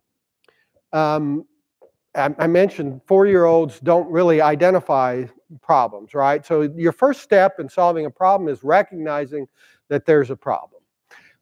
Younger students, early early st- students learning learning problem solving processes, they tend to not be really good about uh, uh, identifying uh, what's solvable. You know, I, I use an illustration. Uh, if you're if you, you, you somebody a bully has stolen your your textbook. Uh, uh, so there's different levels of problems, but at least one level is you've got a you've got class and you don't have your textbook, right? So uh, so uh, if you ask, say, a junior high kid uh, what the problem is, they're gonna they're gonna say, well, so and so is a jerk. well, that's probably part of the problem, yeah, but it's probably not very solvable, right? Johnny Johnny's dad was probably a jerk. It's probably genetic, you know. Uh, you know, you, you've got, but uh, you know, some immediate problems are, I need to know whether I need that uh, textbook for class. So possible solutions are going to the teacher and saying, "Do I need it this week?" If I don't, if I do, uh, I can borrow one. I can do this. Obviously, you're going to want to get uh, resolved around the bullying, but you know, there's so kids need to learn how to narrow problems down. They they tend to be global, globally attribute to things that are not really solvable. So we need to we we and we do that by continuing to solve problems and talking through, you know, um, uh, case studies and uh, small group kinds of things are great ways to teach uh, problem solving and you know talking through and helping to do that. Problem explication is once you once you've uh, identified the problem, then being able to take it to this level of, of analyzing it so that you can solve uh, uh, solve the problem, and then finally identifying possible solutions to the problem. And it just it just takes practice. It just takes practice. You and I solve problems day in and day out. Um, we do it when we're in the classroom. We've got technology that doesn't work. We have to figure out that problem to solve. We've got, you know, we've got something that didn't go right. You know, some books didn't. We solve problems all the time. We just we just do it. We don't we don't do anything outwardly that that teaches students how we do it. Often, the best way to teach this is to say, "Oh, I have a problem. My problem is, you know, this." Uh, the internet just went down and my lesson was going to have you work on you know this uh, website and so now what can i do and you know it's just about us articulating what it is that we do in solving problems and then obviously setting students up so that they can uh, they can try their own problems we want to we've got to create environments that um, are safe for students to make mistakes because you, you learn to solve problems by making errors and by uh, generating solutions that aren't always perfect. Um, and so we've got to we've got to create uh, safe spaces. We we emphasize student capacity to solve problems, uh, uh create open uh, inquiry and exploration, and then there's lots of things in in uh, middle and high schoolers' lives that are problems for them. you know, there's relationship problems, and there are there are problems around whether they're going to drink and and you know do whatever else. And there's all sorts of things uh, that young people. And so we can tie those into things that matter to them and are meaningful to them. Um, so uh, when we're thinking about problem solving for students with autism spectrum disorders, so a lot of the problems that we have to solve are interpersonal. That is, they involve relationships with other people.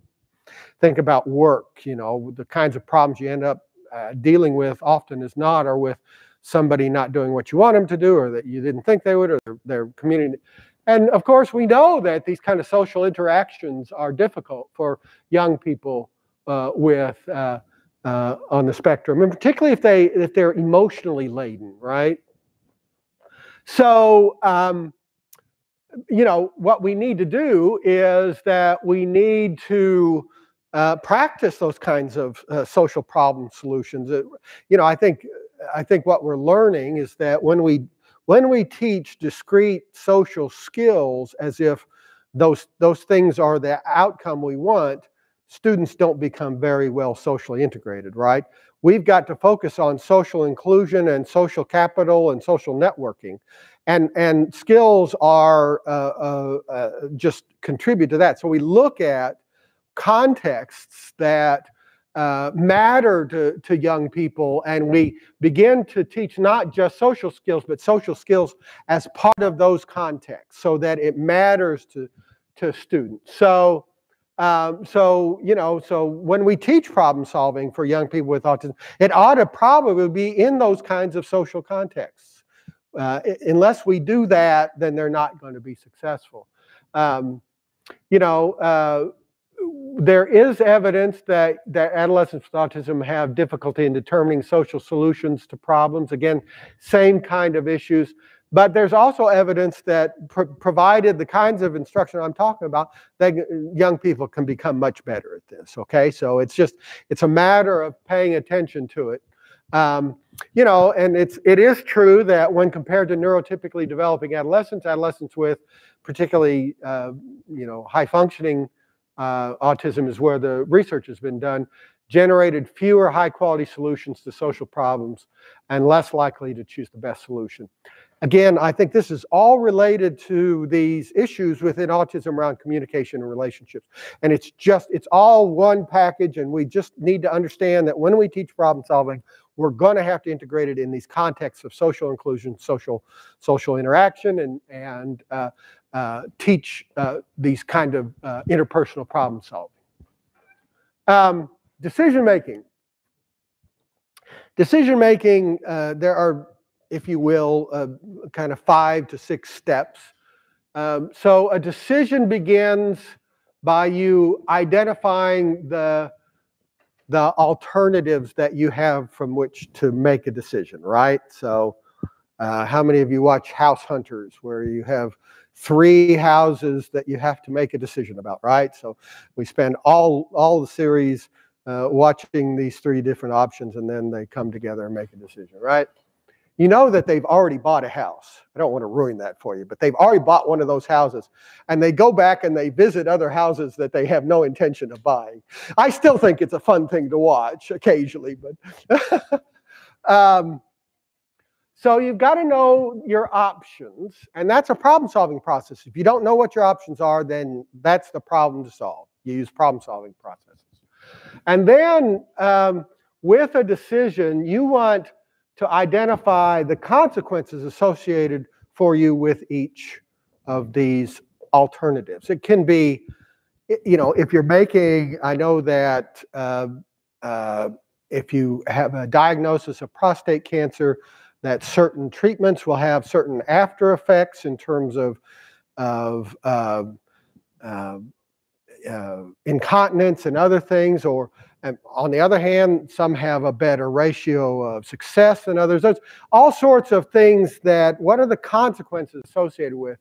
Um, you know, if I'm wanting to buy a car and I've, I've, I've got my, I've got the little red convertible or the, the green minivan and I have young children, uh, then uh, you know the consequences of me, uh, you know, the the of, of the little red convertible might be that a I can't get all my kids into this thing.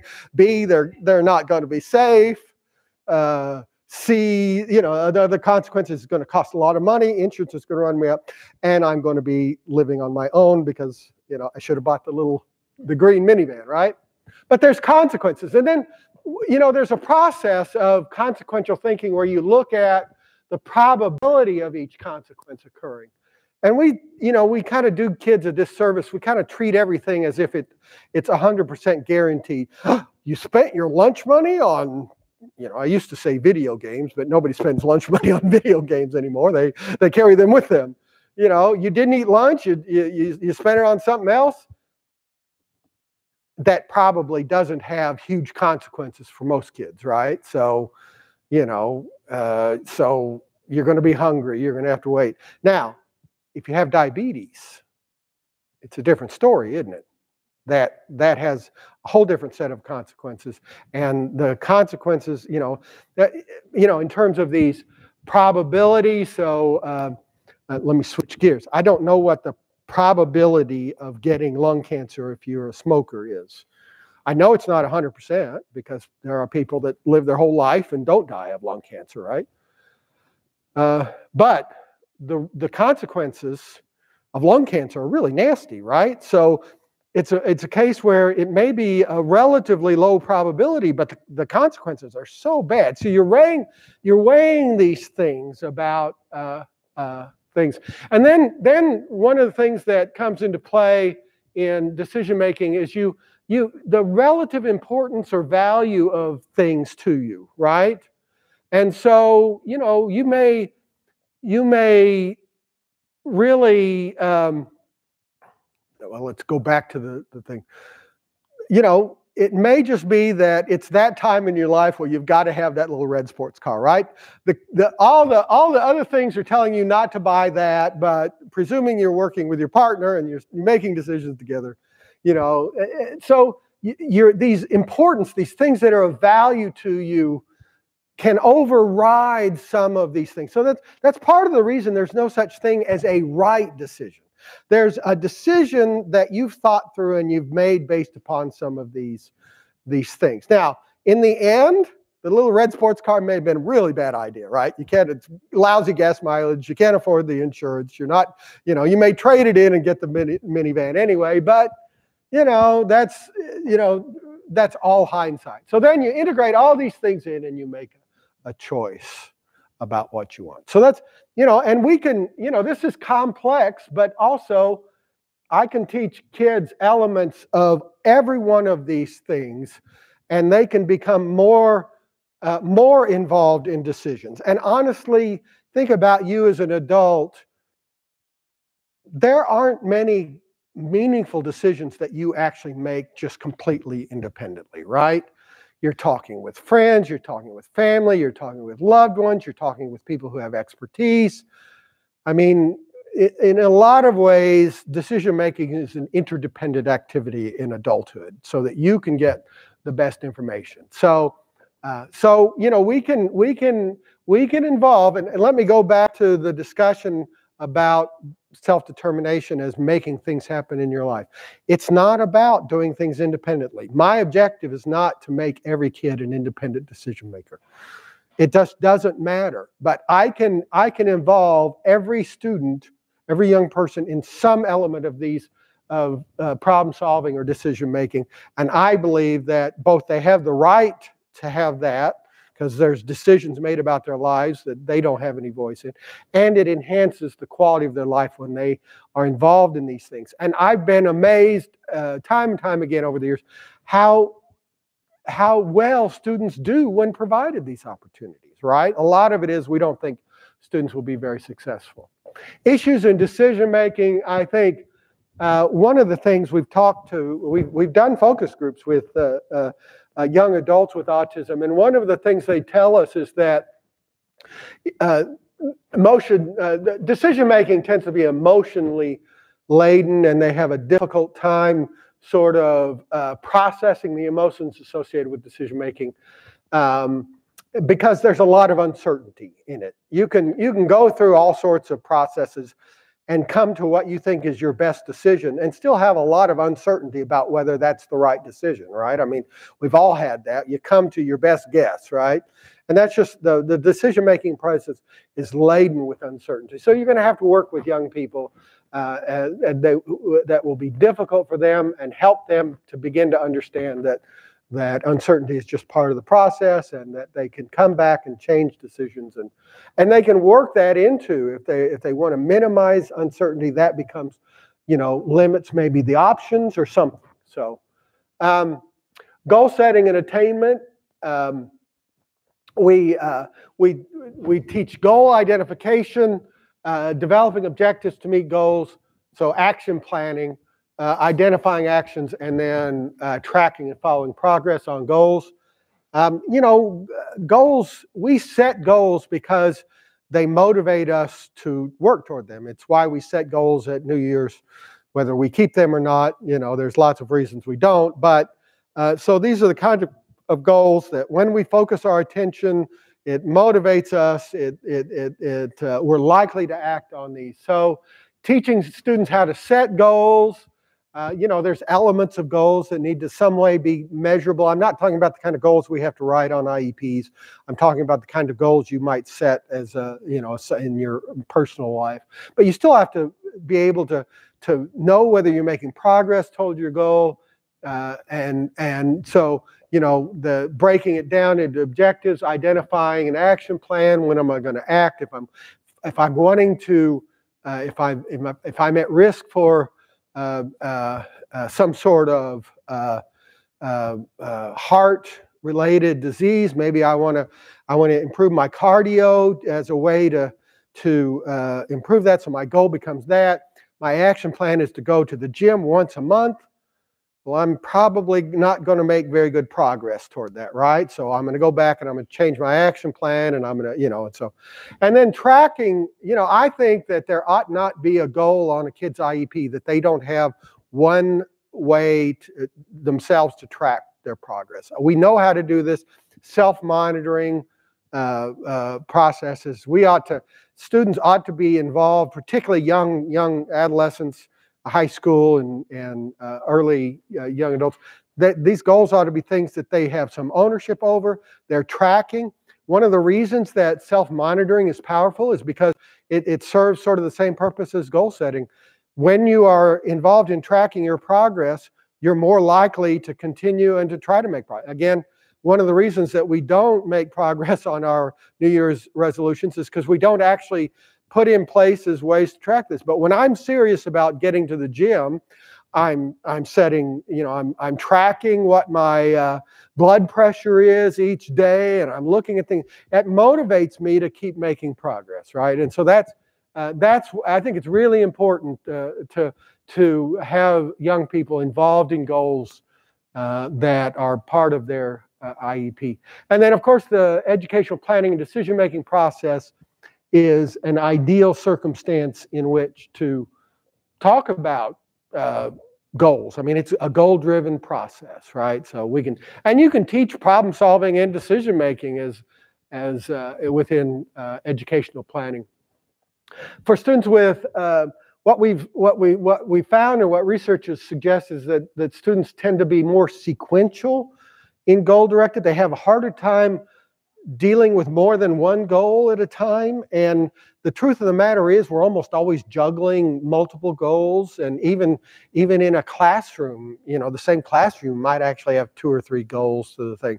So again, I think it, it's just a matter of practice uh, and, um, uh, you know, the, the, the, the persistence. I mean, you know, being sequential and goal-directed behavior is, is a positive unless it's keeping you from doing anything else, right? So just, you know, begin working, add a second goal, help students to understand that this is just part of the process.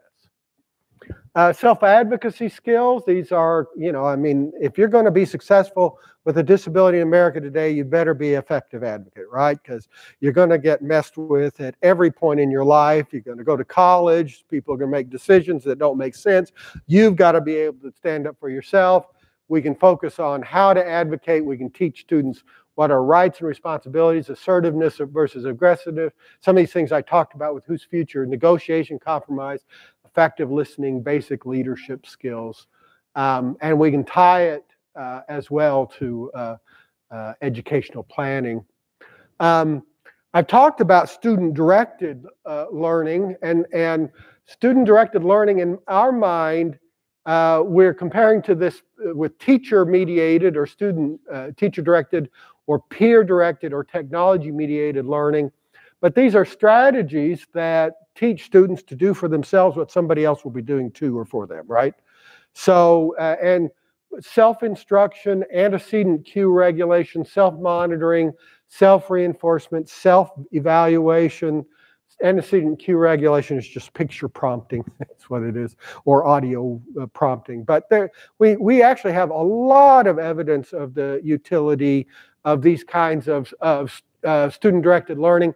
They're often talked about as self-regulation strategies. I don't know if you've seen the work of like uh, Karen Harris and Steve Graham on the, the self-regulated uh, uh, strategy where it's it's writing paragraphs. So you know we've got all sorts of evidence that these kinds of strategies are effective with young people. What did I do? Ah. So that ends that. Now let me switch uh, really quick here, and we'll wrap up in a half hour. Um, uh, don't save. Um, and talk about the self-determined learning model of instruction. So um, we, when I began this work, we were um, interested in, um, we got to looking at teaching models, and most teaching models uh, taught teachers how to teach students.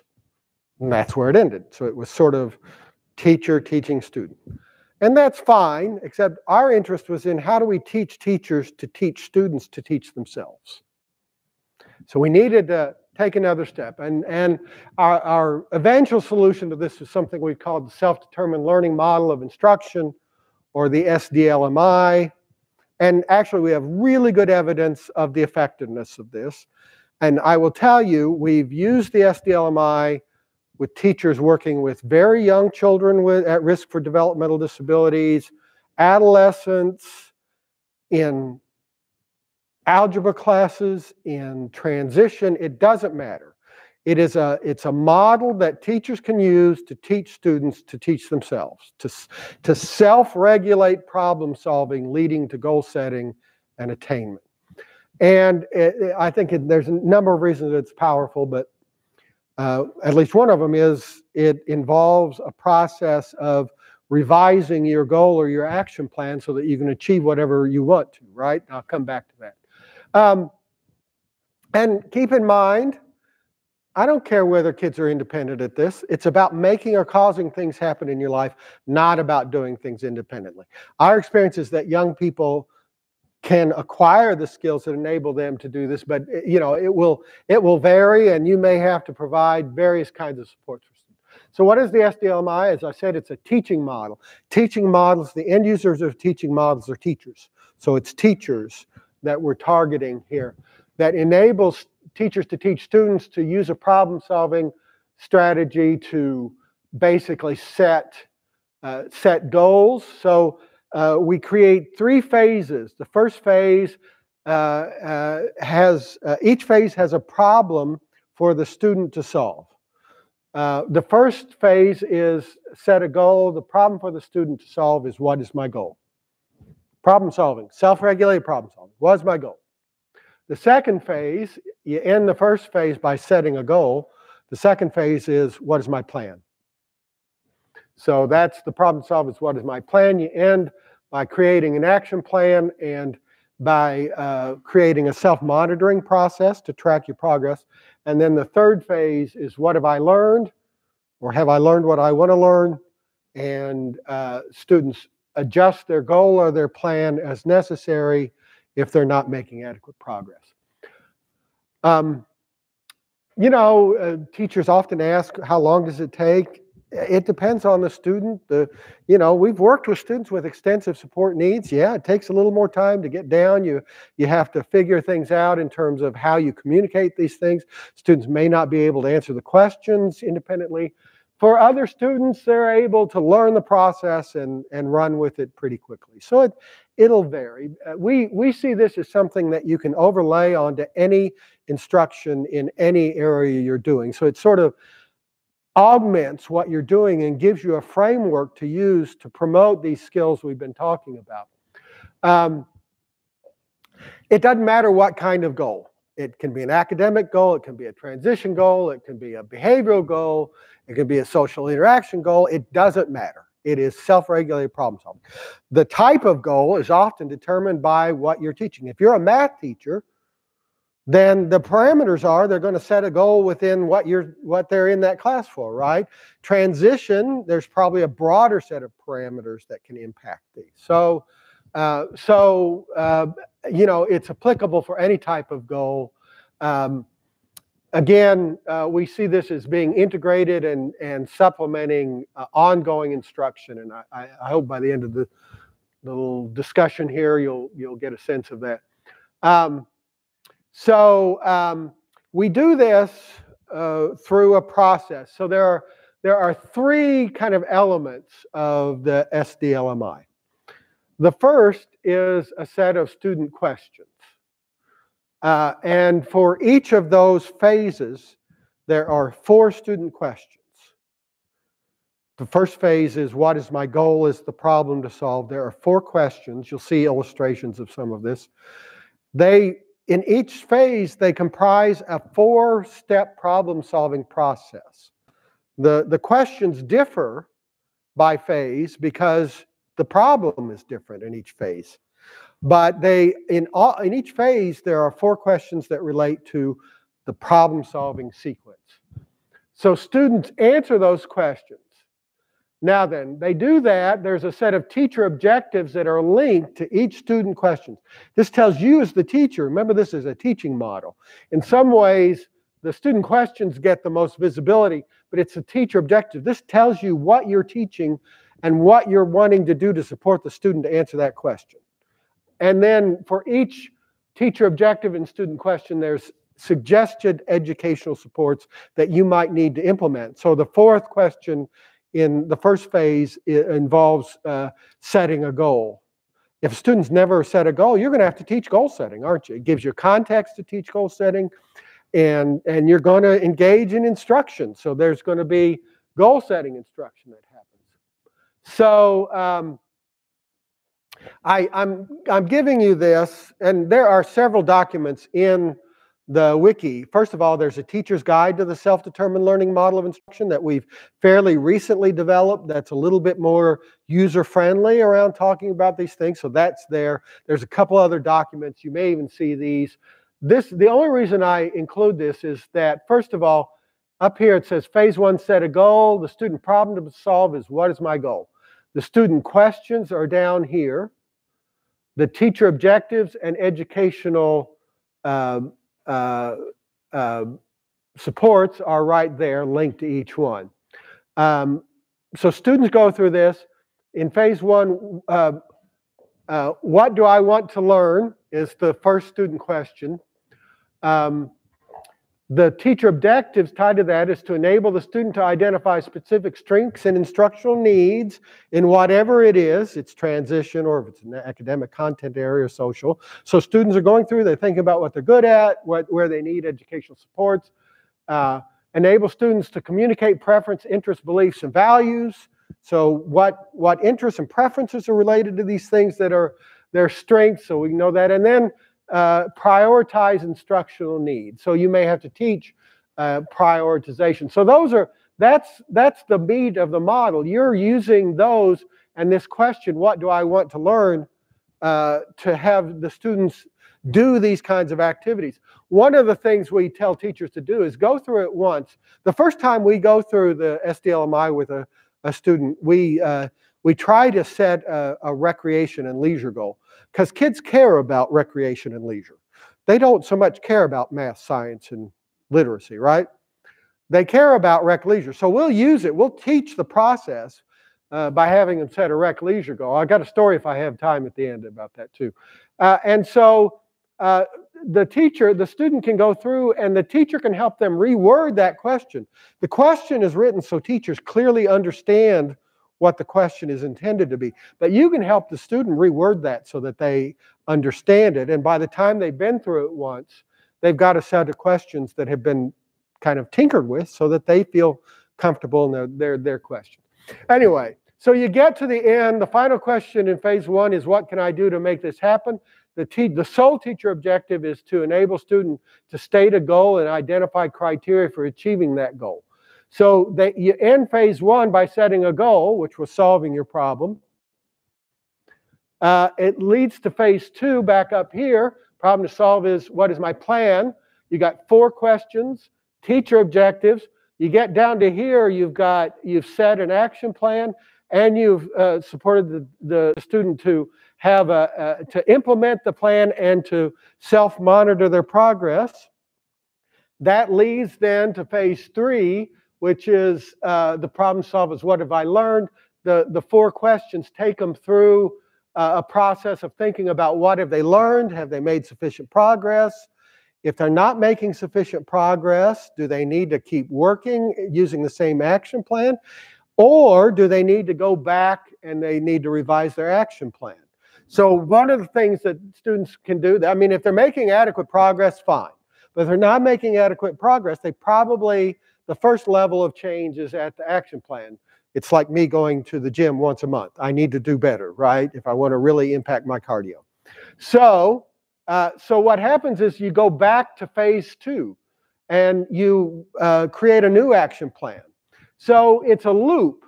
And then if you go back and you change your action plan enough times and you're still not making progress, what it's telling you is, is you've, you've set a goal that's not attainable, right?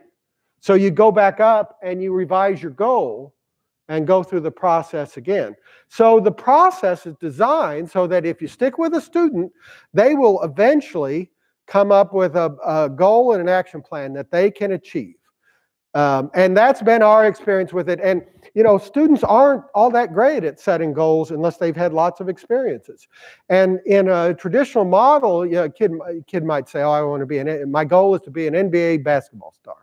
Now, you know, the kind hearted of us, which most of us are kind hearted, say, well, you know, we don't want to flat out say you'll never be an NBA basketball star, but the likelihood is very slim.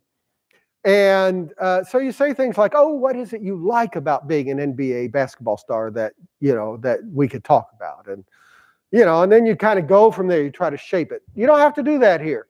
You don't have to be a dream killer. No more dream killing. You can you can go in, the kid can set the NBA basketball goal, and they can figure out that they're not tall enough, they probably don't have the right skill set, the blah blah blah blah, and they can go back that up and they can revise that goal until it's I want to play in an intramural league, you know, kinds of things. So so it can be very empowering, and it, there you know there should be 100% success in terms of of solve uh, of set of, of of achieving a goal if you've you've kept with the process. Now, um, it changes our roles. For teachers, we become facilitators. We're still a teaching role because kids need to learn how to solve problems. They need to learn how to prioritize. They need to learn how to create action plans. They need to learn how to set goals. There's all sorts of teaching opportunities around these things that we talked about around promoting self determination in this one uh, frame. Um, uh, and we become a student advocate. Not only are we not dream killers, but we're we're we're there and we say, hey, let's let's do this. You know, let's figure this out. I'm with you. Um, and that's, you know, those relationship issues is, is important. Students, they become self-directed and, and self-determined learners.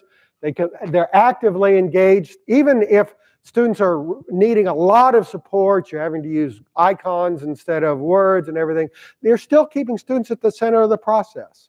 And if you're doing that, then you're doing the best you can to really honor uh, that. They learn to become advocates, and it, it creates relationships around partnership and, and shared goals, right? So, um, there, uh, in all of these, there are four uh, student questions. Phase one, what do I want to learn? What do I know about it now? What must change for me to learn? What can I do to make this happen? Uh, as I said, you can you can go in, you can modify these. You just can't drop one through three and go immediately to what is your goal. The purpose is to teach kids this sort of problem-solving sequence. Um, so uh, you know, it takes some kids longer. Uh, with each question, there are, as I said, a set of teacher objectives. Just the the ones for question one we already looked at. State strengths and instructional needs. Enable students uh, to communicate preferences and to prioritize instructional needs. And then there's the um, uh, the educational support. So uh, students may not know what their strengths, so you may need to work with students to self-assess their interests and their abilities and what they're good at. Give them the VIA. Talk about what they're good at. You know, find ways to determine what they're good at. Uh, you know, students may not know how to communicate their preferences, communication skills training. Uh, prioritization is a decision-making process, right? So here's a chance to begin to teach, you know, if you have these strengths, but you have these areas of instructional need, which is most important that you start with, right? So uh, there are these. I'm gonna, I'm gonna, we're just not set up well for the, the, uh, the small group work, and uh, I'm going to blow through this, and then we'll be done. So. Um, the second uh, uh, uh, section, again, four student questions, teacher objectives. These are the student questions. What can I uh, do to learn what I don't already know? What could keep me from taking action? What can I do to remove these barriers? When will I take action? Again, keep in mind, now some students will do fine with the, the, these things worded this way. Other students, you will have to help them reword it. And you will know how to reword them based upon the teacher objectives, right? So your teacher objectives for student question five, what can I do to learn what I don't already know is to enable students to self-evaluate what they currently know about the goal and what they need to know. So that becomes, uh, you know, you could reword that to even say uh, something like, what don't I know yet about this goal or something. But, you know, it, it's, it's, a, it's, a, it's an interaction between you and, and the student. Um, we, um, the third phase, uh, same setup. Uh, what actions have I taken? What barriers have I removed? Uh, what has changed about what I don't know? And what uh, do I know what I want to know? And again, the decision-making process, the self-regulated problem solving uh, leads you sometimes back to the second phase again to reset the uh, action plan. Um, um, teacher objectives, what barriers have been removed, collaborate with students to compare progress with desired outcomes. So this is it's it's called goal discrepancy analysis is in the in the in the in the literature. So you're you're teaching kids to compare what they know right now compared to what they want to know, and taking a look at the discrepancy and what they need to do to to to to uh, fit that. So um, some of the roles in the uh, SDLMI uh, you know, the student is at the center of this. These are, uh, we've been, uh, we've worked with students all over the U.S. and in fact, uh, it's a model that's been implemented around the world. Uh, one student said, I know I'm going to reach my goal because I'm trying. students feel very empowered. we get, we always do some sort of social validity by talking to students after the study and by talking to teachers. And teachers always say, I'm surprised how well he did. you know, uh, even teachers with high expectations, you know, you, you're putting students in circumstance. And students talk about this, they, they begin to understand because they, it puts them, if you will, in control of their learning. I made progress on my goal because I tried to, uh, and I would do this again. It helped me. Now, the, the story I wanted to tell you about, uh, and then I'll leave with some websites.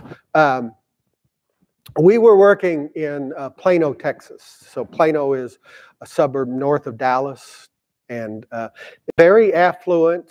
Um, there were lots of pressures on uh, students to have, you know, high academic performance. Um, and so we were sort of dealing with that in terms of the, uh, the context. But we were working on the SDLMI and we were working with a young man in this particular case who had um, uh, behavioral uh, issues. He, he challenged the system. Um, and um, so, uh, as I said, when we begin working with a student, we um, uh, we have them set a, a rec leisure goal because they care about this. So we start off down this path, and immediately he identifies uh, severe storms as something he's intensely interested in. And of course, North Texas gets tornadoes. You know, I've lived in Tornado Alley all my life. So, and um, uh, this was the this was before the Weather Channel when you could turn on any night time day and see severe weather, right? And so he had learned about and heard about storm chasers.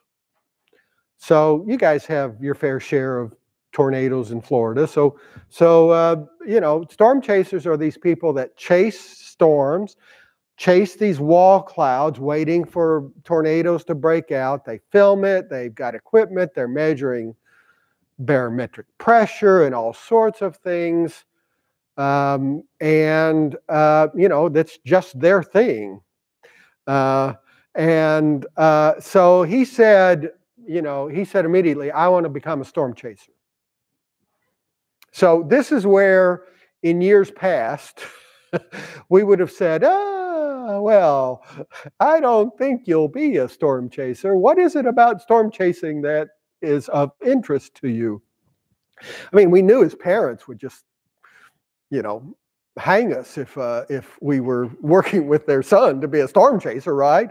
Plus, you know, you got to have a lot of money. These vehicles and equipment is expensive. You got to have apparently a lot of free time, and you apparently have to have a lack of good sense, right? Because you're chasing it.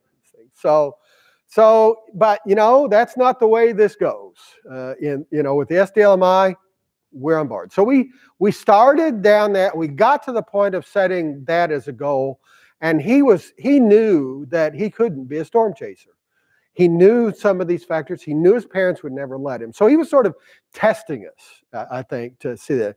So we kind of backed off. He said, "No, I'm, I'm I probably can't be a storm chaser. Let's let's think of another goal related to this." Well, we got to investigating. I can't remember whether he found it or whether we found it, but it was working together. Turns out there were storm chaser clubs in Dallas. There were multiple ones, and there was one in the North Dallas area, not too far from Plano.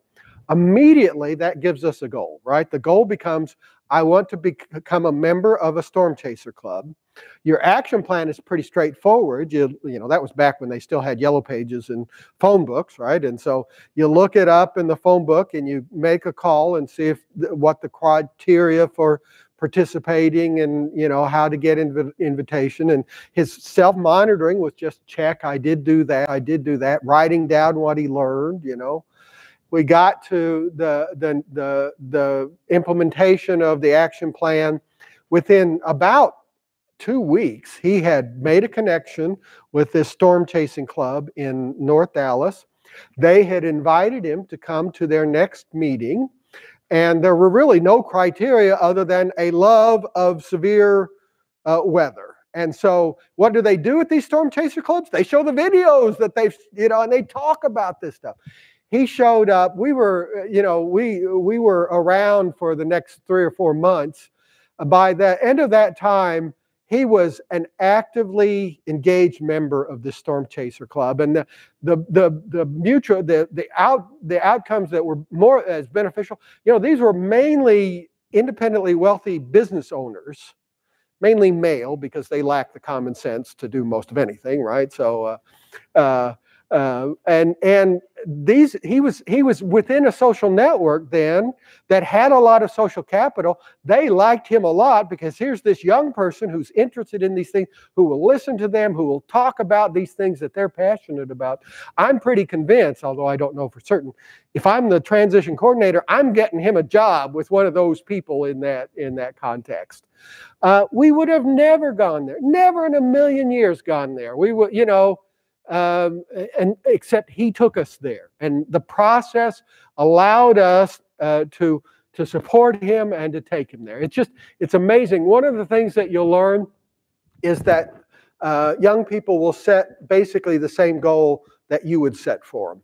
They know they know that they need to improve their their uh, uh, their uh, uh you know performance. They need to show up. Uh, they need to reduce tardies. I'm amazed how many times that students set the same goal that the teacher might have set. So you know it's and and again you put the parameters on on what you want to. Uh, to do. And the other thing I want to point out is, is we want to infuse student self-direction in as much as possible, particularly through the the uh, action planning and and every student needs to have a self-monitoring process. But but sometimes it's better not to self-direct learning. So I, uh, one more young man we were working with in in texas and um, he he was he's a young man with learning disability. This was back where you had to pass a written text and there were no accommodations. So it would have been pre-ADA uh, and you got a booklet that you had to study and he was just he had failed the test. He wanted to get a driver's license. He was able to drive. He just couldn't pass this stupid written test.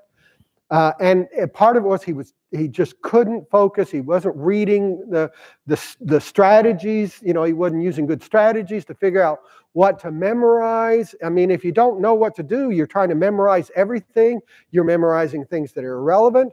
So as they got the you know the the goal became to pass the written test the action plan was very teacher directed. It was the teacher sitting down and teaching him how to pick out big ideas out of that, blocking this out for him, helping him do that. So it, there wasn't much that he was doing in a self directed manner, but he had control over the decision that that was the way he was going to learn. And, and you know, he was able to acquire what he needed to know through that process and he was able to pass the test. So again, it's it's not all about students doing everything for themselves. It's about students being in the in the middle of the process. All right. Um, there's uh, at that same selfdetermination.org website, you can find the teacher's guide to the SDLMI, but it's also in your wiki. So we've got we've what we discovered is I think this is fairly intuitive. I think teachers who jump in and do it figure it out, but it just sounds more complicated than, than what it really is. And so we've been working really hard. This, this Maryland, Delaware uh, project, one of the elements of that is we're building out uh, teacher supports. We're building out uh, fidelity measures so that, that teachers can evaluate their fidelity with the model. We're building out teacher training materials. We're building kind of, uh, you can get information about uh, how to teach self-monitoring, how to teach goal setting. So we're building all of these resources that will, I, I think, make this much more adoptable by, by teachers and by educators. So that's all going to be coming up. A lot of that will be linked off of this site as we get things going, but the teacher's guide is already out there. Uh, we've been using it. Um, some other websites, there's your wiki, is the PB Works and of course, this is now uploaded on your wiki site, so all you have to do is really remember PBWorks, wehmeyer.pbworks.com. The National Gateway to Self-Determination, I showed you that one uh, at the start. So this is, that has videos, has all sorts of resources. There's the Zarrow Center website that I talked about. The easiest way to get there might be just Google Zarrow Center self-determination, but that's, that, that'll get you to their, their page. Uh, we've mentioned the Virginia I'm Determined, so that's the, the link to it. It has lots of good resources on that. There's the Project 10 uh, website that sounds like they've got great information. There's other stuff, but there's a ton of resources on these websites. And I didn't, I, I don't know why, the Beach Center, uh, beachcenter.org, which is where my, uh, it has some of the same materials. So you can get to this stuff it's almost all free or very low or uh, uh, typically no cost. It's out there and um, much of it has a very strong evidence base. So uh, with that, I'll, I'll make one more offer that if there's ever anything I can do to support your efforts, uh, my email is my last name, Wehmeyer, at ku.edu. Just email me. Uh, I, I'm just would be more than happy if you have questions, if you say you mentioned something and I can't find that, I can find where those resources are. You know, I put a lot of this stuff on the wiki, but we still have more stuff. So uh, uh, by all means, get in touch with me. And once again, thank you for all you do and for spending your day here listening to me yammer on. So, and I'm going to turn it over to Mary Ellen.